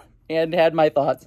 But it was just something that, you know, I wanted to add to the video because I thought it was um, a necessary little piece of it. And so as a result, it's on showrunners within Hollywood who uh, understand that their perspective is one that has been centered for a very long time to make an active effort to seek out new life and new perspectives boldly. It's me saying that these people need to become more hyper aware of the issues that they are perpetualizing. And this is an issue society wide that I think everyone needs to do. And frankly, uh, we can get into my more leftist leaning politics uh, some other time. Uh, but this is more of an issue within Star Trek specifically because it's something I've seen in the reaction to this season of Star Trek, with the idea of it being a return to real Star Trek that I've seen a lot of people propagating online. Whatever writing team is involved in this know what they're doing. and that is so refreshing in in Star Trek. I, I, I hope that, I hope they get to go on. Hi. Like I'm, I'm, I might do something with Star Trek uh, Picard season three, specifically season three, that I, I haven't done for any of New Trek. I might rewatch this on my own so I can enjoy it. Because now that it's all out and I, I don't have to worry, I don't, I, I can like watch it without being stressful. Yeah. That they're gonna do something stupid. Yeah, you could just enjoy it. I think on a second watch, I might actually just even enjoy this more. I loved it. That people want more of Star Trek Picard Season 3 than the rest of Star Trek that's been going on, which seems to forget that there's been a lot of good Star Trek going on for a while now, like Star Trek Strange New Worlds, Prodigy, Lower Decks, and yeah, Star Trek Discovery. There's been a vocal contingent of people arguing that this season of Star Trek Picard was a return to Trek. Now, to a degree, I think that this is in part because Picard has been the biggest Trek show in the zeitgeist for the past few years, and you're having your big TNG reunion and previous seasons of Star Trek Picard, as well as, you know, other elements of the other biggest Star Trek show, Star Trek Discovery, have certainly had their issues. I have been one of the major critics of that. So people coming into this season of Picard who may not have watched Strange New World, Lower Decks Prodigy are saying like, oh, this is much better than, you know, the ones that I had issues with, so, you know, it's a much better show. But I also think beyond that, that there are people who are seeing this season and because they aren't actively thinking about other viewpoints are ignorant of the fact that this season was centering that perspective of the older era of Star Trek, specifically the era of the Next Generation, Deep Space Nine, Voyager, and Enterprise, which is an era that I love, but certainly centered those perspectives of cis men for a very long time that didn't include others, and often otherized marginalized folks quite often, and continuing stigmas even if unintentionally. For example, take Seven of Nine on Voyager, who always had to wear the sexy suit for the male viewpoint, or queerness only getting to be alien metaphor. And so it makes me uncomfortable when there's this call for a return to Trek, when this season is perpetuating those same issues, when other Star Trek that has been going on at the same time, contemporary with it, like Discovery or Prodigy or Strange New Worlds, have been very, very good about being more inclusive in how they represent other perspectives. I think Star Trek Discovery, most specifically, has done a great job about becoming more inclusive in how it represents different people. Like, for example, not saying, hey, here's the queer characters, we'll just have our little one-off so we can say, like, look, we have a queer character in our story, but actually wrestling with what it means to represent queer people within a story, showing queer people finding a found family, discussing being trans, having transitioned, or having husbands and wives, while also still getting to be competent, career-minded professionals. I just asked because transitioning, it's like I had bigger things to think about, but if I get another chance to remake my body, then why not get rid of all the things that aren't totally me, you know? The characters on Discovery aren't defined by being queer, but they are queer at all times, instead of just the one moments where they kiss their husband that we can cut out for international audiences. It's naturalized and normalized writing queer people, and the same thing extends to black people in that show as well. So for Picard, as a show to otherize queer people and many other groups at this time, it bothers me, especially given the state of trans issues, black issues, and many others in this country in the United States right now. And before I go on to this next section, I want to make a clear distinction between the people that I've been talking about so far, people like Red Letter Media because I've been using them in the B-roll, folks who I don't really find really problematic, but certainly have blind spots in terms of how they critique and analyze media simply through their perspective, and the people that I'm going to be talking about in just a minute, who are, in my opinion, very aware of the problems inherent in the perspective of this media And that is actually part of the appeal that they have when analyzing these works of art. So I just want to make that distinction clear that there's a difference between ignorance and blind spots and people who are going to actually try to use these ignorance and blind spots to propagate even more toxic and disgusting ideas and narratives. But all this gets even more problematic from certain more toxic elements of the Star Trek fandom. Those who have never shown up for modern Star Trek before, but feel emboldened to say stuff like this now because of Star Trek Picard Season 3. Bases. And Seven of Nine, who was not treated well in season one and two. Oh, uh, her and Raffi broken up. No more lesbian relationship. And if any, uh, but Seven of Nine acts like Seven of Nine. They have to deal with, I guess, when I say the wreckage of uh, the absolute wreckage of Kurtzman Trek Past, they have to deal with crap from before. They do it as fast as they can. So yeah, it's gonna take. It's like you're gonna go. Oh, I just got reminded of proof. You know, you'll get mad, and it's what it needed. I think it's what it needed. But what it isn't is intersectional feminism, modern woke Hollywood. It's Star Trek and it has Star Trek themes, but for the most part, it's uh it's a pretty traditional story. Ooh, did I say that? This is really frustrating to me because these folks, and I'll specifically call out some of them, Nerdrotic, Doomcock, and the Fandom Menace, and all those types, have been critiquing Star Trek of the past few years endlessly. And yet the same issues that they have constantly brought up as their criticisms of shows are still present in this season of Star Trek Picard. These folks complained about Star Trek Discovery having pacing issues or mystery box storytelling. That's still here in this season of Picard. They had problems with the fact that we don't get to know the bridge crew of the Discovery, which is the same problem here in Picard on the Titan. We get to have one-off characters like Sidney, but we also had Tilly in Discovery. These people also had problems with the weird plot justifications that explain the plot holes instead of it making feel natural. We have that here still in Star Trek Picard, such as the yada yadaing of why the Borg only assimilated under 25 year olds. Material doesn't propagate in a species past a certain point in the developmental cycle. Which for human beings is age 25, which is when the frontal cortex stops development. They also complain about how Star Trek Discovery didn't respect Star Trek canon having a holodeck or something like that, when Star Trek Picard still has those same exact canon issues, such as, for example, the changelings being willing to murder each other when we have clearly shown in past Star Treks in Deep Space Nine that the changelings weren't willing to kill each other. In fact, it was a whole big deal. We also had them complaining about Star Trek of this era being too murderous and having people like Michael Burnham vaporize bad guys and seeming too cruel for what Star Trek's supposed to be. And yet, guess what this season of Star Trek Picard has?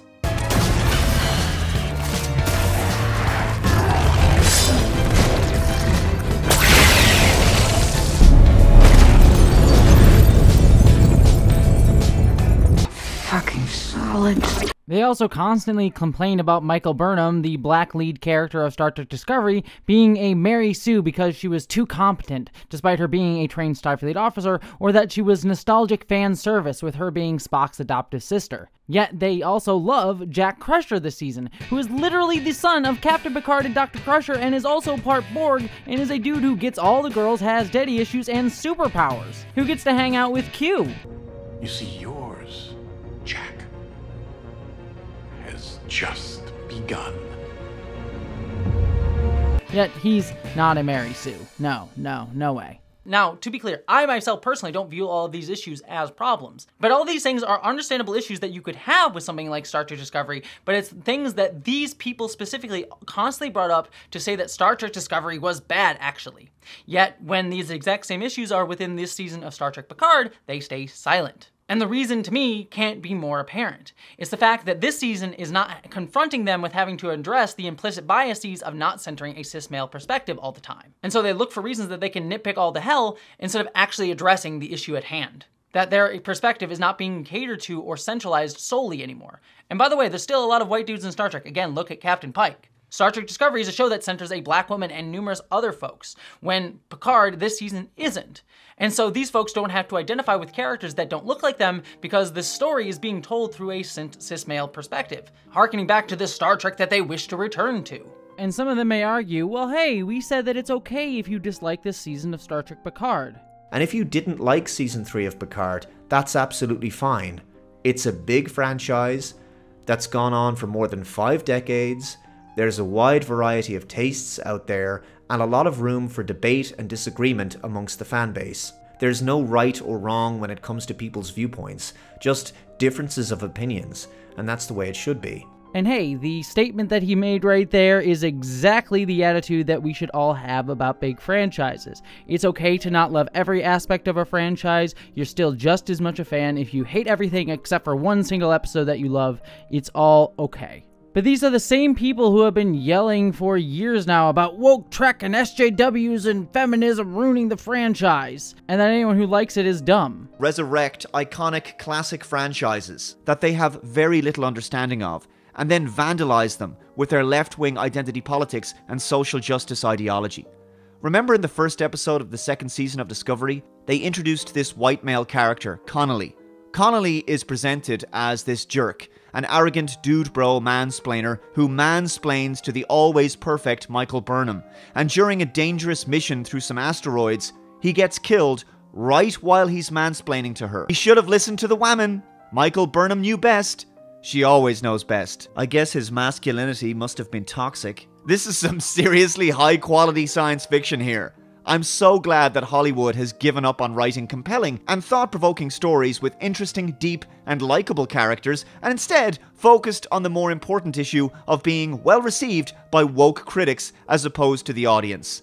Star Trek sure looks to be in great hands. And it seems to me that the only reason that they are saying, oh, it's okay to dislike this season of Picard, the one that they like, is because some people who have also been railing against SJW woke Trek are so pot invested in hating modern Star Trek, folks like Doomcock, for example, that they've staunchly said it still sucks. If you fall for this Kurtzman Trek Trojan horse, they will sneak past your defenses into your brain and further eradicate everything you remember about the next generation, and even worse, you will be sending a signal to Hollywood that fans are every bit as pathetic as Kurtzman always thought they were. And so these folks that do like this season of Star Trek Picard because it caters to their viewpoint are saying it's okay to hate modern Star Trek, not because they care about someone like me, a trans gal Trekkie's opinion, it's very clear to me that they could give two craps about my opinion, despite the fact that I am more than confident any day that I could school them in my Star Trek knowledge. Not that that's a qualifier of fandom,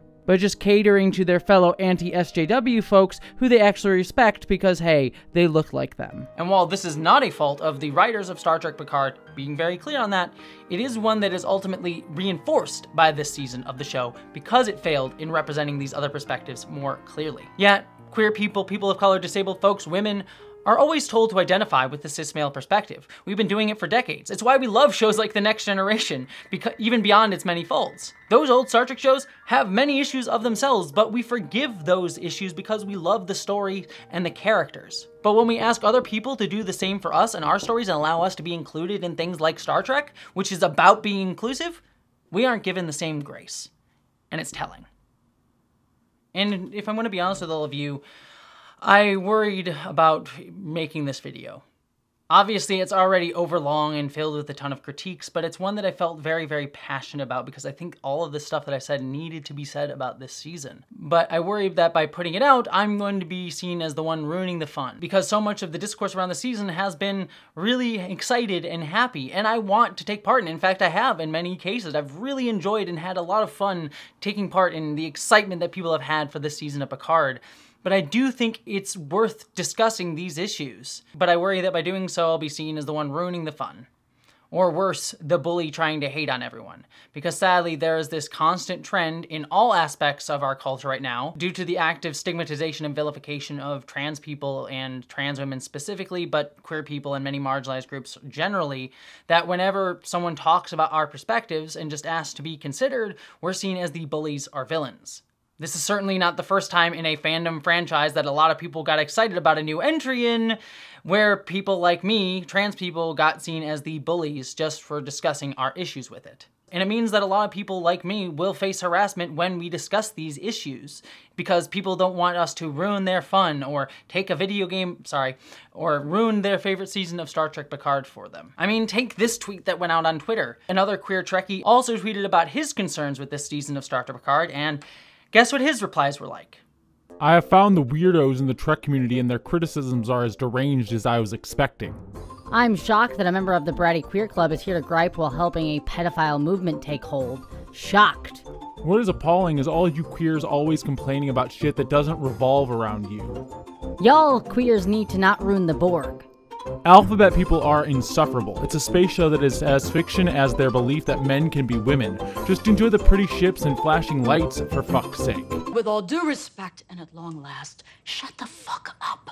I also saw a tweet that I could not find again for this video where someone was just simply talking about the lighting of black men on Star Trek Picard this season and how they were underlit, which is a constant problem in Hollywood about how black people have historically not been lit properly. It's a long documented issue. And yet, that person's replies by some people who consider themselves Star Trek fans was a lot of calling her names, simply for pointing out a problem that has long been known to be an issue not just of Star Trek, but Hollywood generally, towards black people. Constantly, we see anyone going against the grain get dogpiled on, or at least their response is not in line with what a Star Trek community should be about kindness, caring, hearing others' thoughts, and being open to criticism because we all want this thing to be greater. It's either because we're seen as ruining the fun or because we're making people uncomfortable by discussing the issues that we see. Or people wish to continually uphold the status quo because they know it keeps at or near the top, and worry about the transes, queers, and people of color and other marginalized groups coming to replace them, when in actuality we aren't trying to replace anybody, we're trying to make it equal for everybody.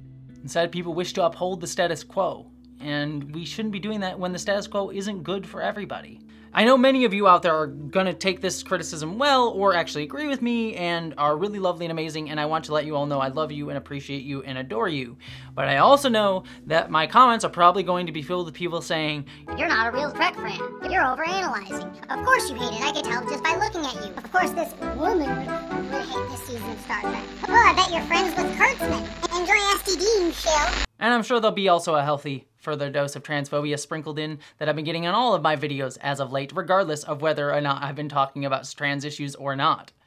Cause it's great being trans right now in the United States. It's because our perspectives inherently force people to consider how the system is failing not just trans people, but all of us, everyone, even men. And sometimes easier to defend and assume the status quo because it's not hurting you as severely. And I want to be clear, I know many of the people who work on Star Trek. In fact, I'm working on a short film with Dr. Erin Macdonald, who currently works on Star Trek right now, and I know that so many people behind the scenes of Star Trek want to continue to push it forward. Take, for example, the Star Trek podcast with Tawny Newsome, who was a Star Trek Lower Decks actor and Starfleet Academy writer, who constantly talks about wanting to be critical of Star Trek. So by no means saying that people behind the scenes of Star Trek have not tried to be more inclusive. Even Terry Matalas, who, again, included many non-binary people, queer people, and people of color in Star Trek Picard. Again, it is much more progressive than the older era of Star Trek, but for me, this season of Star Trek Picard has gone back. All of modern Star Trek has grown to let all sides of humanity participate in the story that Star Trek has always been trying to inspire us to tell in real life.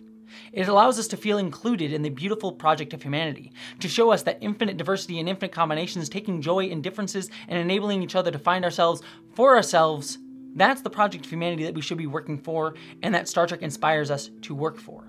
And it requires everyone to show up for it, and it requires Star Trek itself to confront its own biases and past and history, something that this season of Star Trek Picard failed to do.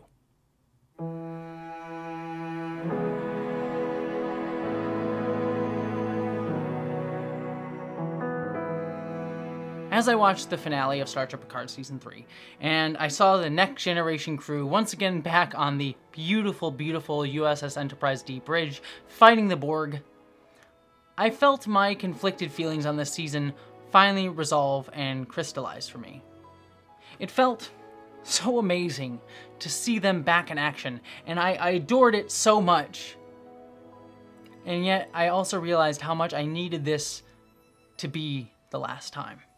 This season of Star Trek Picard felt like the next generation movie that we never got to have. The story that many of us needed to finally give an end to these characters who we came to know and love, almost as much as our own family. Yet it feels like a movie that should have been made in 2005. Because if it had been made then, it would have felt progressive and a step forward for Star Trek and the way it needed to move forward, because there's a lot that Star Trek needed to move beyond back then. But today, and after everything that Star Trek has become, this season of Star Trek Picard feels regressive. Sometimes you gotta look back in order to move forward. I have been a proud supporter of modern Star Trek, from Discovery all the way through to where we all are now. But while I have loved it, I don't mean to say that it's ever been perfect. In fact, I've tried to be one of its most vocal critics. Because unlike some who wish to criticize to tear it down and rebuild the Star Trek of the past, I want Star Trek to be built up and create a better future. I want to be willing to support and critique it because I believe in Star Trek. It is something that is so important to me and I want to see it grow. And I've seen the stumbles that modern Star Trek has made. Look at Star Trek Discovery Season 1 with its Bury Your Gays storyline, for example. That was an entirely problematic storyline, and yet, since then, Discovery has worked to not only resurrect Culber, but become one of the most diverse and inclusive Star Trek shows ever, including in its queer representation. A complete turnaround from that first season. It showcases a desire on Star Trek's part, in this era, to try to do better. Instead of what happened at the end of Star Trek in the 2000s, where it slowly started to get worse and worse, treating women more and more as objects and still downplaying queerness at an era where every other TV show on at the time was trying to do even better about that. And I want this constructive ethos, one where Star Trek is willing to look at itself and try to do better to constantly continue. And I've seen it do that in shows like Strange New Worlds, Lower Decks, and Prodigy. Modern Star Trek has fumbled, and it's certainly far from perfect. It's never perfect, nor will it ever be. But it has strived to be more than it was, and that effort has yielded it its own reward. It's pushed forward, it's boldly gone. And this season of Star Trek Picard has felt like a step back in that boldly going. And to a degree, that was part of the intention, right? This season was about stepping back and ending out the next generation. But it is a step back. In many ways, this was a return to Trek, but it's a return to a Trek of the past, all of its problems included, not a Trek that we need for the future. And this rhetoric being espoused by some showcased to me that some have forgotten, and for certain others, it's part of the appeal, that the older era of Star Trek that they want to return to wasn't great for many people who didn't get to have a voice in making it, or to be part of it. It all feels very make Star Trek great again, forgetting that Star Trek has been great for a very long time over these past few years. And some of these Trek bros just see, either consciously or unconsciously, that this season of Picard still caters to a viewpoint that views women, queer folks, BIPOC folks, and more as secondary to their story. And that's not a Trek that we need to return to. We should create a Trek that views everyone as a part of the beautiful future, but no one at the center of it all the time. It's not about replacing one person with another, it's about making us all equal. And I'll be honest, I do feel like this is a very relevant concern. I see things like the Michelle Yeoh-led series Star Trek Section 31 that was originally announced with two women showrunners, Bo Yeon Kim and Erika Lippoldt, and Bo Kim being herself an Asian woman, has now been reannounced as a movie written by Craig Sweeny. Not to hate on Craig Sweeny, who I'm sure will do great, but I want Trek to be led by more diverse people behind the camera. And this is compounded by the fact that Star Trek Discovery itself, the only show not run by a cisgender white dude, was recently canceled. And I say all of that with kindness because I love all of the showrunners. Except you, Mike McMahan. I know you're watching. You know. You know. I'm kidding. I love Mike McMahan. He's great. So no shade at any of the showrunners, Terry Matalas included. But I do want Star Trek to start including more voices in lead roles, and to see the two projects that were being led by diverse folks being either downgraded, taken away from them, or canceled has me concerned. There's currently a push going on on social media for a spin-off of this season of Picard called Star Trek Legacy, a show that Terry Matalas himself wishes to make. For most of this era of Star Trek, I've not cared about what they're going to do next because I know it's going to be garbage, but if they do Star Trek Legacy, I'll watch it. And frankly, I would adore a spin-off show featuring Seven of Nine and this crew of the Titan. I would absolutely love that. Seven of Nine is one of my favorite characters, but only if that show is on its own terms and one that recognizes the flaws of this season. And a show that realizes that it has two queer women and a black queer woman as its two leads. It feels like it would be a show focused on finishing the stories of the past, not telling stories of the future. It's not to say I wouldn't like maybe characters like Ezri Dax or Sisko or even some of the Next Generation crew to pop back up in a future series or show, but they don't need to be centralized anymore. They had their shows. And I think it's time we allow them to take a rest and come to an end. And this desire to constantly return to the past instead of creating a new future for the franchise is evoked for me symbolically by the Titan being renamed to the Enterprise G at the end of the series, with the return to the idea of Star Trek constantly needing to be centered on a ship called Enterprise, rather than being able to become something new. I mean, if Star Trek Legacy does get greenlit, we'd have two series about a ship named Enterprise featuring characters from the franchise's past running concurrently, with the only difference being one focused on characters from the 60s and the other being characters from the 90s. While the one live action show featuring a new ship and mostly wholly original characters, Discovery, got cancelled. Like, this tendency for Star Trek to constantly centralize the Enterprise was already parodied two years ago in Star Trek Lower Decks in a way that ended up being more ironically prophetic than comedic.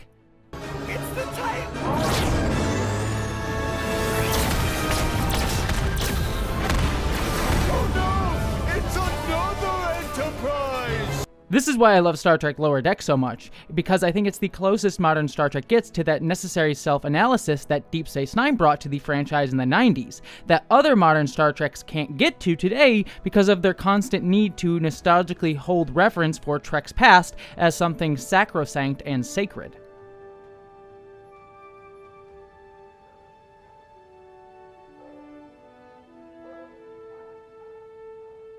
First love is always the sweetest, isn't it? Well, she wasn't the first. But she was certainly my favorite. This evokes to me a lot of the same issues that began to plague the Star Trek franchise in the late 2000s that led to its inevitable stagnation and near death.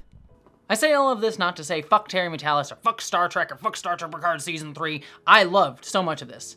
I say this because I believe in Terry and Star Trek and everyone else who works on this franchise. I offer my criticisms in hopes of making this thing that we all love better, and I do so in kindness. My rule always has been I never say anything in a video that I wouldn't say to a showrunner's face in person, or wouldn't say out of an attempt to just have a conversation about things we both clearly love. Creativity in a better tomorrow doesn't come from one person thinking they know best, myself included. Hell, I'm sure I've said shit in here that many of you disagree with. But it is my perspective, and I'm willing to hear yours as I thank you for hearing mine, as we grow together through the conversation. Infinite diversity and infinite combinations. I liked so much about this season. I liked it a ton. I wanted, and in some cases needed, this ending to Star Trek The Next Generation and its characters. Seeing them in the show's final moments playing poker together made me smile from ear to ear. These characters get their happy ending in a way that I never thought I would get to see. But it needs to be an ending. Because, as they say, all good things. We need to move forward. And Star Trek, such as Strange New Worlds, Prodigy, Lower Decks, Discovery, and even hopefully the upcoming Starfleet Academy all look to be doing just that to different degrees. And I hope if we do get a Star Trek Legacy series, which I earnestly hope we do, I hope it does continue that as well. I hope that Terry, if he gets to run it, will take my criticisms into account, or at least hear them out. But at the end of the day, for me, this season of Star Trek Picard Season 3 was where this tremendous final journey needed to end. I rather believe that time is goes with us on the journey, reminds us to cherish every moment.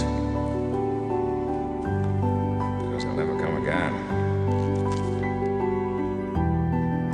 What we leave behind is not as important as how we've lived. After all, number one, we're only mortal. Speak for yourself, sir.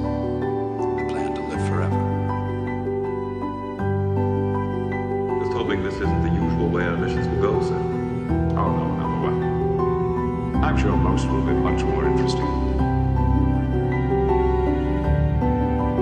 Let's see what's out there. Engage.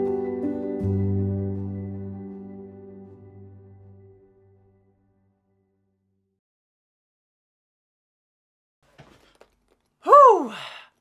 So we all just ran a Star Trek marathon, didn't we?